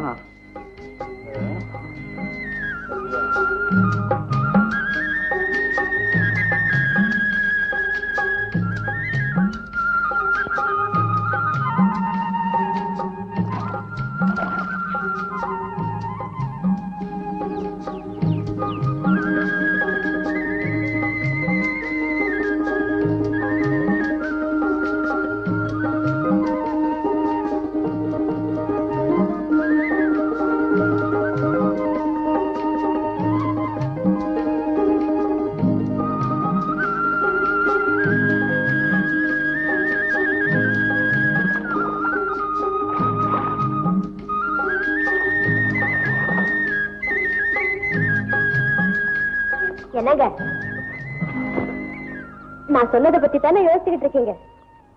நீ எதை பத்தி சொன்ன? அதாங்க கல்யாண விஷயம். ஐயோ நமக்கேமா அந்த வம்பு? சில பொம்பளைங்க கல்யாணத்துக்கு முந்தி பாவை வீசுவாங்க அதுக்கப்புறம் பாத்திரத்தை வீசுவாங்க. கடைசியில இந்தயா உனக்கு எனக்கும் காசு திந்து போச்சு அப்படின்னு பத்திரத்தை வீசுவாங்க. நமக்கு வேணாம். பாத்தீங்களா பாத்தீங்களா? யாரோ ஒருத்தி எப்படியோ நடந்ததுக்காக இன்னும் அதையே நினைச்சுக்கிட்டு. அதுக்கிட்ட கனமா ஒரு தடவை கல்யாணமான என்ன? எந்த பொண்ணு கட்டிக்குவா? ஏன்? நான் கட்டிக்கிறேன். உனக்கு ஏமா அந்த தலைவிதி நான் அழகா இல்லையா? எவன் சொன்னவன்? கண்டமின் குட்டி மாதிரி சும்மா எப்படி இருக்க? அப்புறம் என்ன? கல்யாணத்தை நடத்த வேண்டியது தானே. சரி ஆனா நம்ம என்னதான் நினைச்சாலும் இந்த கல்யாணம் நடக்காது. ஏன் நடக்காது? நடக்காது அவன் அதான் சொல்றேன் நடக்காதுன்னு. நீங்க நினைச்சா நடக்காதா? நான் நினைச்சது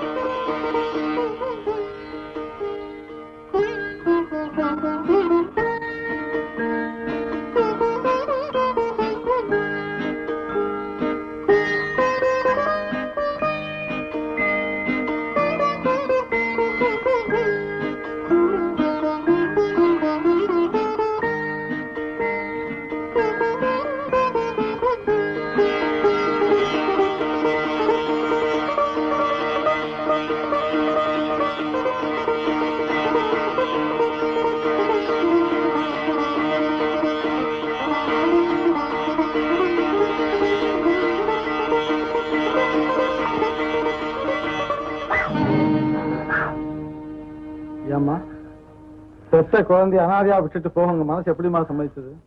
குழந்தையா? அது அது என் குழந்தை இல்ல. நில்லுங்க. எங்கிட்ட மறைக்க முடியாது. ஒரு தாய் மட்டுமே செய்யக்கூடிய புனிதமான காரியத்தை இப்ப நீங்க செய்வீங்கல்ல? உண்மை சொல்லுங்க.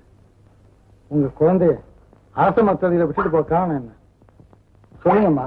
உண்மையை சொல்லுங்க. எங்கிட்ட சொல்லுங்க. அம்மா உங்க குழந்தையால எங்க வாழ்க்கையில எவ்வளவு குழப்பம் ஏற்பட்டு தெரியுமா? இந்த சமூகமே எங்களை பார்த்து சிரிக்குது. என் தங்கையுடைய மானமே ஊசாடிக்கிட்டு இருக்கு. சொல்லுங்கம்மா. சொல்லுங்க. மன்னிச்சிருங்க. இனிமே என் குழந்தைய நான் ரகசியமா கூட பார்க்க வர மாட்டேன் ஐயா பெத்தவங்க தன் குழந்தைய பார்க்க வேண்டாம்னு எவனாவது சொல்லுவானா? அதை நான் சொல்லவே மாட்டேம்மா. இந்த குழந்தை உங்க குழந்தைதான்னு சமூகத்துக்கு தெரியணும்னு நான் கேட்டுக்கிறேன். தைரியமா சொல்லுங்க. உங்க மானத்துக்கு எந்த காயம் வராம நான் காப்பாத்துறேன் சொல்லுங்கம்மா. தைரியமா சொல்லுங்க. சொல்றேன்னா? சொல்றேன். நான் பெத்த குழந்தைய நானே அனாதையா விட்டுட்டு போக வேண்டிய நிலைமை எனக்கு ஏன் ஏற்பட்டதுங்கிறத சொல்லிடுறேன் சொல்றேன்னா? வக்கீல். வைக்கல எதுக்கு வைக்கல? இந்த வீட்டுல மாடே இல்ல. என் பொண்டாட்டி தான் இருக்கிறா ஓ மூஞ்சி. நீ ஒரு வக்கீலு உனக்கு ஒரு போர்டு ஒரு பேனா ஒரு புஸ்தகம் அட அறிவுகட்ட ஜென்மமே. எதுக்காக அனாவசியமா என்ன பாராட்டுறீங்க? எனக்கு புகழ்ச்சியே பிடிக்காது. தேன்மொழி. ஊர்ல எனக்கு என்ன நல்ல பேர் பத்தியா? சார் ஒரு வக்கீல்ன்ற முறையில என் கடமையை நான் செய்யறேன். அவ்வளவுதான். என் கடமையை நான் செய்ய அப்படியா என்னையா? நான் ஒருத்தி குத்துக்கள் மாதிரி நிக்கிறேன். நீ அப்படியே அவரை பிடிக்கிறான் ஓஹோ நீதான் அவன் பொண்டாட்டியா? கேளுமா நியாயத்தை என் தம்பி பேர்ல ஒரு கேஸ் சிவட்டு பையன் தெரியாம இவனை வக்கீலா நியமிச்சுட்டான். கோர்ட்ல வந்து அவன் ஒண்ணு சொல்லு. இதை அவன் வேற விதமா சொல்லி ஒரே குழப்பமா கண்ணா அப்படின்னு கேஸ் எடுத்து என் தம்பிக்கு தண்டனை வாங்கி கொடுத்துடாமா அட பாவி என் தம்பி செயல்ல இருக்கான்டா செயல்ல என்னது வெயில் இருக்கிறான் பாவம் உள்ள வந்து நிழல்ல உட்கார சொல்லியா வேண்டாம் நீ மறுபடியும்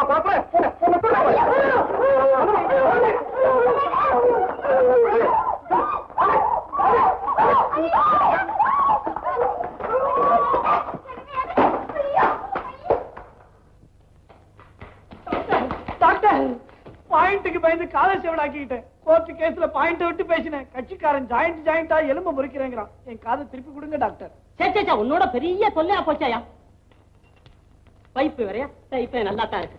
ஏயா ஒரு தடவை காது வேணுங்கிற ஒரு தடவை வேணாங்கிற. மனுஷனுக்கு நிதானம் வேணும். எப்படி டாக்டர் நிதானம் இருக்க முடியும்? எனக்கு தான் கல்யாணம் ஆயிடுச்சு. கல்யாணம் ஆனது பின்னாலதாயா ஐயோ கல்யாணம் ஆனது பின்னால நிதானமே வேணும். சீச்சி உன்னோட பேச முடியாது. நீ வா. படு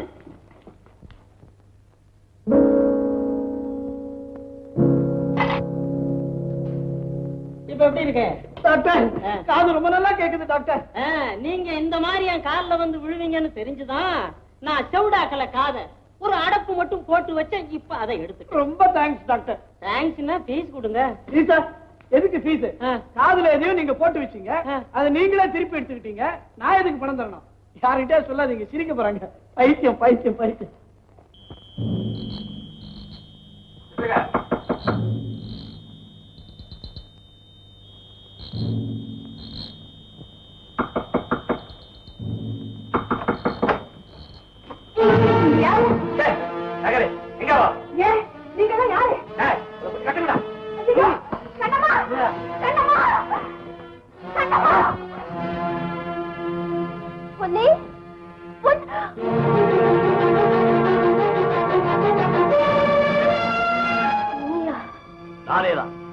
உன்னை எப்படி எங்க சந்திக்கிறோமோ அப்படி சந்திக்கிறேன் அன்னைக்கு சொன்னேனே.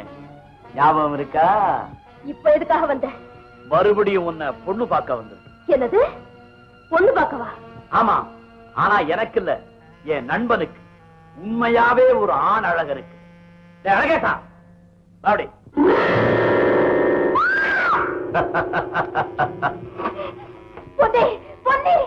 அலரடி அலங்காரம் பிடிச்சவள. கல்யாணமே வேண்டாம். எந்த ஆண் வர்க்கத்தை தூசா நினைச்சு தூக்கி எறிஞ்சியோ அதே ஆண் வர்க்கத்தின் கடைசி அசிங்கமானவரோட நீ காலமெல்லாம் வாழணும். அப்படித்தான் உன்னை பழிவாங்க போறேன். இதோ பார் தாலி. அழகேசா கட்டா தாலிய.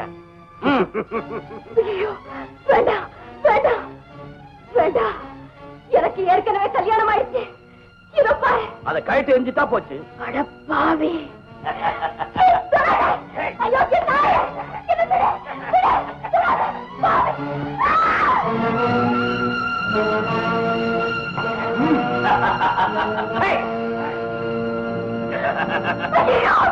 பாவி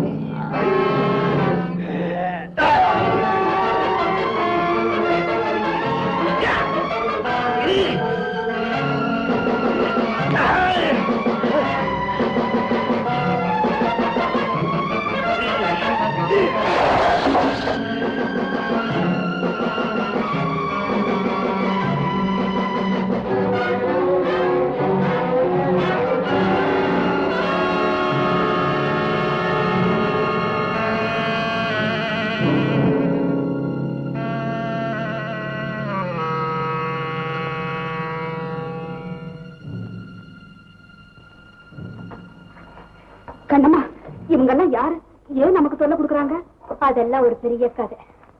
ஆமா உன் கழுத்துல தாலி. ஆமா. நேரம் வரும்போது நீயே தெரிஞ்சுக்க. அது சரி. அண்ணன் எங்க? எனக்கு தாலி கட்ட வந்தானே ஒரு குரூபி. அவன் அழைச்சுக்கிட்டு எங்கேயோ போயிருக்க சரி வா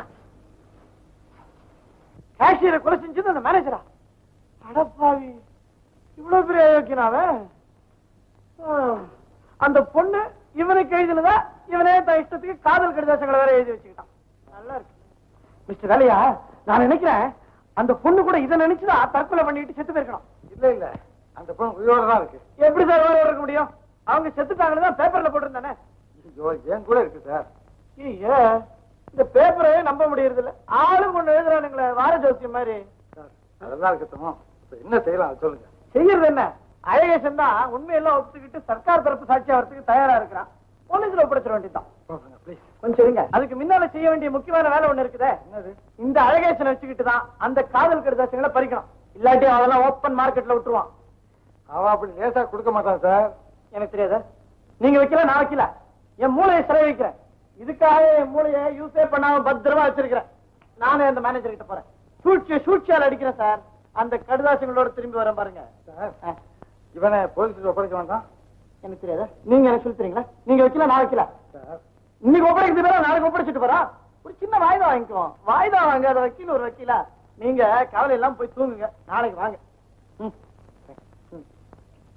இந்த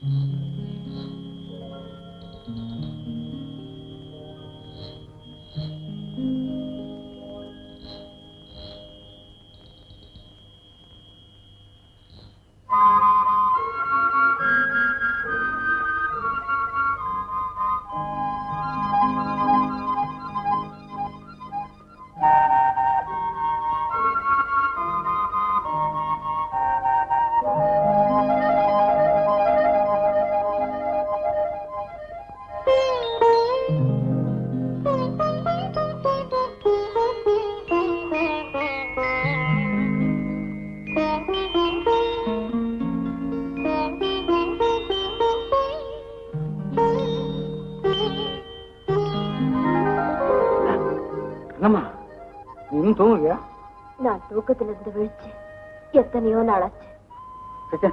என்ன இது? நீ என் காலை பிடிக்கலாமா? உங்க காலடியிலேயே விழுந்து கிடக்க வேண்டியவதானே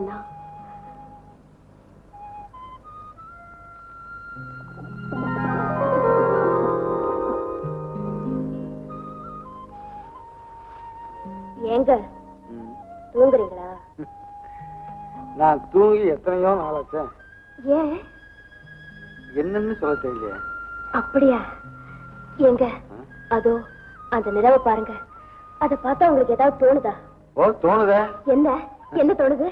கூடி சீக்கிரத்துல மனுஷன் அங்க போய் இறங்க போலான்னு தோணுது. அதுதான் தோணுதா?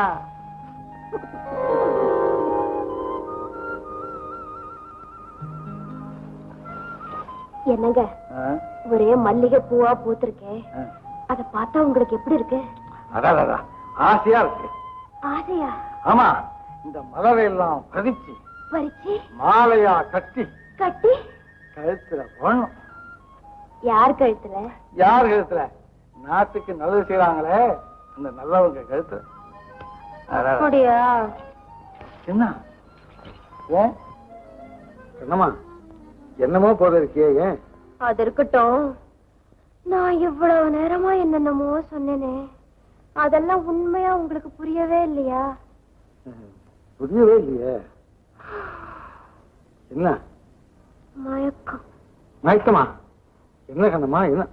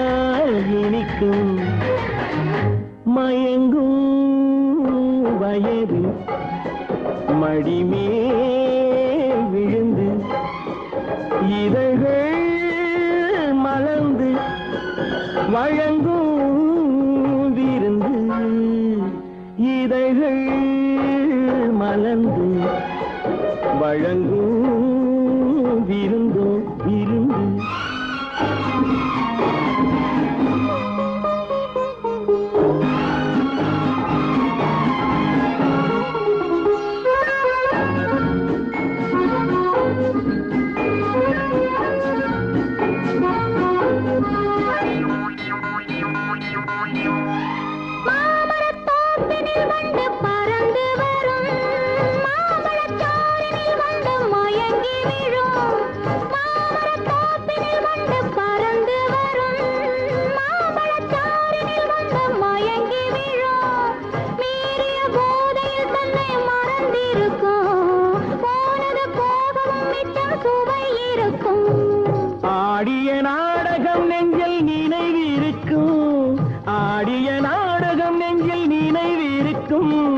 அம்மம்மா என்னென்ன நடந்திருக்கும்?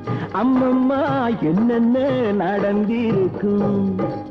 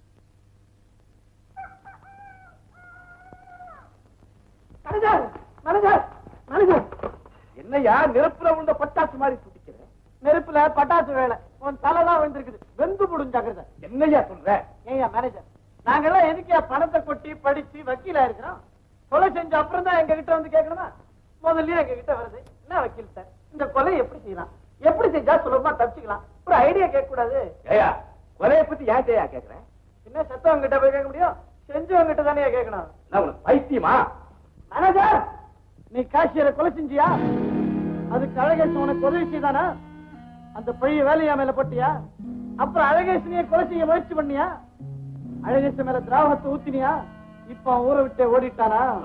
என்ன கேள்வி? இப்படித்தான் நாளைக்கு உன்னை கோர்ட்ல நிக்க வச்சு கேள்வி மேல கேள்வியா கேட்பாங்க. உன் பேர்ல கேஸ் நடக்கும். உனக்கு பத்து வருஷம் கிடைக்கும்.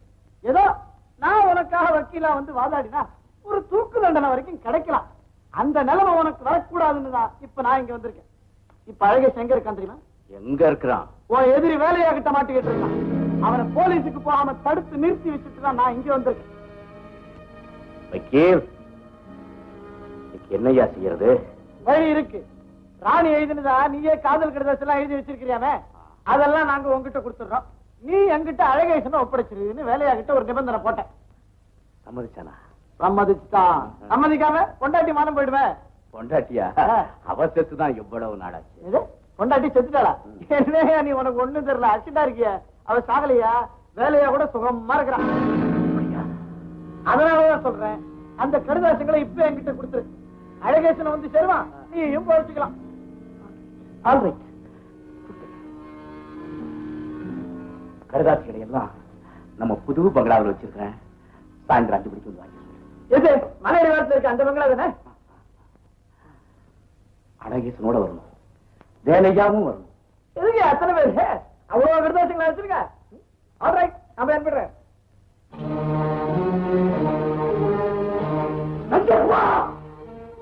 முதலாளி முட்டாள். ராணி இன்னும் உயிரோட இருக்கிறா வேலையா வீட்டுல இருக்கிற ராணியை கடத்திக்கிட்டு நம்ம புது பங்களாவுக்கு வந்துரு கடதாசிய வாங்கறதுக்காக வேலையாவும் அழகேசன் அங்க வருவாங்க.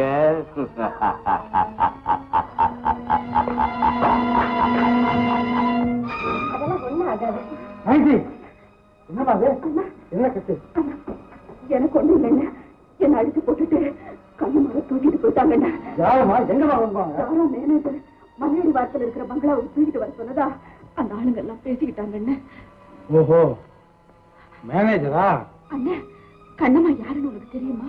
என் மனைவின்னு தெரியும். அது உனக்கு தெரியும்னு எனக்கு நல்லா தெரியும். அம்மா ஜாக்கிரதை பாத்துங்க. வந்துடுறேன் ஐயோ அன்னைக்கு என்ன ஆச்சோ தெரியலையே. ராணி அகம்பாவம் பிடிச்சவளே கடைசியா வெற்றி யாருக்கு பாத்தியா? எனக்குத்தான். எனக்குத்தான் வெற்றி.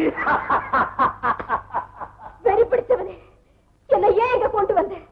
நான் தான் சொத்து சுகம் எல்லாத்தையும் உதறிட்டு உன் கண்ணு கெட்டாத இடத்துக்கு ஓடி போயிட்டேனே. இன்னும் ஏன் என்ன துரத்துக்கிட்டே வர?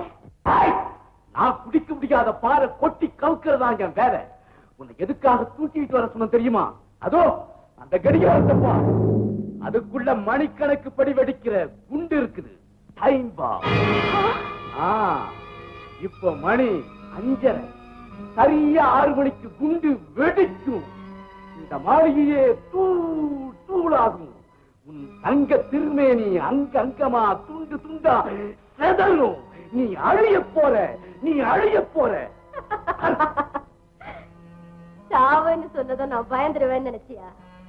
ஏய் மேனேஜர் என் கணவர் உயிரோட இருக்கும் போதே சாகிறதுக்கு நான் பெருமைப்படுறேன். இதோ பாத்தியா? இந்த தாலியோட பெருமை தெரியாம இத ஒரு நாள் நானே கழட்டி எறிய துடிச்சேன். ஆனா இன்னைக்கு இந்த தாலியோட சாகர பாக்கியம் எனக்கு கிடைச்சிருக்கு. அந்த சந்தர்ப்பத்தை உண்டாக்கி கொடுத்த உனக்கு என் நன்றி. ஆனா ஒரே ஒரு குறை. என் கணவரோட காலடியில சாகணும்னு ஆசைப்பட்டேன் அதுக்கு தான் எனக்கு கொடுத்து வைக்கல. கவலைப்படாத. என்ன இருந்தாலும் நான் உன்கிட்ட கை நீட்டி சம்பளம் வாங்கின வேலைக்காரன் இல்லையா? ஆசையை நிறைவேற்றாம இருப்பானா? உன் கணவரும் இங்க வரப்போறான். உன் இஷ்டப்படி அவன் காலடியிலேயே விழுந்து வராது. அவன் மட்டுமல்ல நான் கொலகாரன்னு தெரிஞ்ச ஒரே சாட்சி அந்த அழகேசன் இங்க வரப்போறான். இங்க மூணு பேருமே.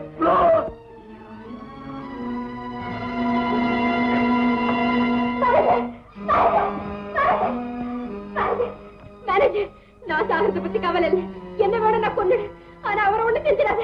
அவரை விட்டுடு விட்டுடு மேனேஜர் மேனேஜர்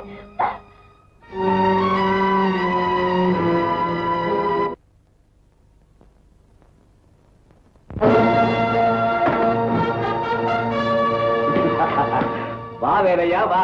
உனக்காக தான் காத்துக்கிட்டு இருக்கேன். ராணிங்க அழகேசங்க ராணி ஒப்படைக்க போறியா இல்லையா? அழகேசன் ஒப்படைக்க போறியா இல்லையா? ஓஹோ ராணியை பூட்டி வச்சிருக்கியா? டேய் பிடிச்சாதே அழகேசங்க கடியாரத்துல கூட்டு வச்சிருக்காங்க பாவே. போயிடுங்க அத்தா சீக்கிரம் போயிடுங்க. சாவி கொடுக்க மாட்டேன். அழகேசனை ஒப்படைச்சாதான் ராணி உனக்கு கிடைப்பா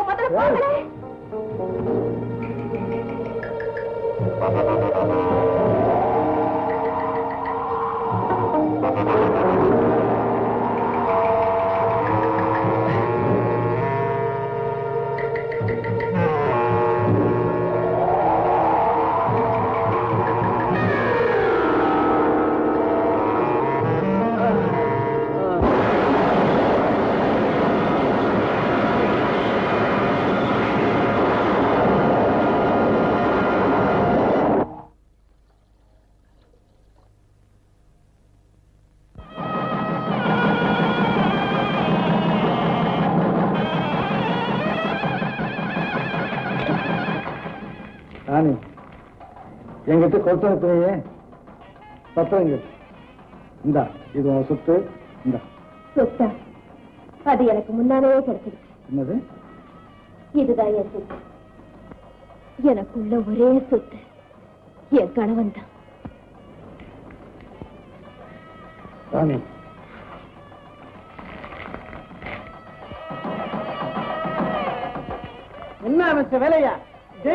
கல்யாணத்தை ரகசியமா முடிச்சுக்கிட்டு இங்க வந்து சைலண்டா நிக்கிறீங்க. இப்ப எங்க எல்லார் எதிரிலையும் உங்க கல்யாணம் ஒரு தடவை நடக்கணும். மாலையை மாத்துங்க. இது என்ன வெக்கம்? தேன் மொழியை கட்டிக்கிட்டு நான் வெக்கப்படா வந்து நிக்கிறேன். மாலையை மாத்துங்க.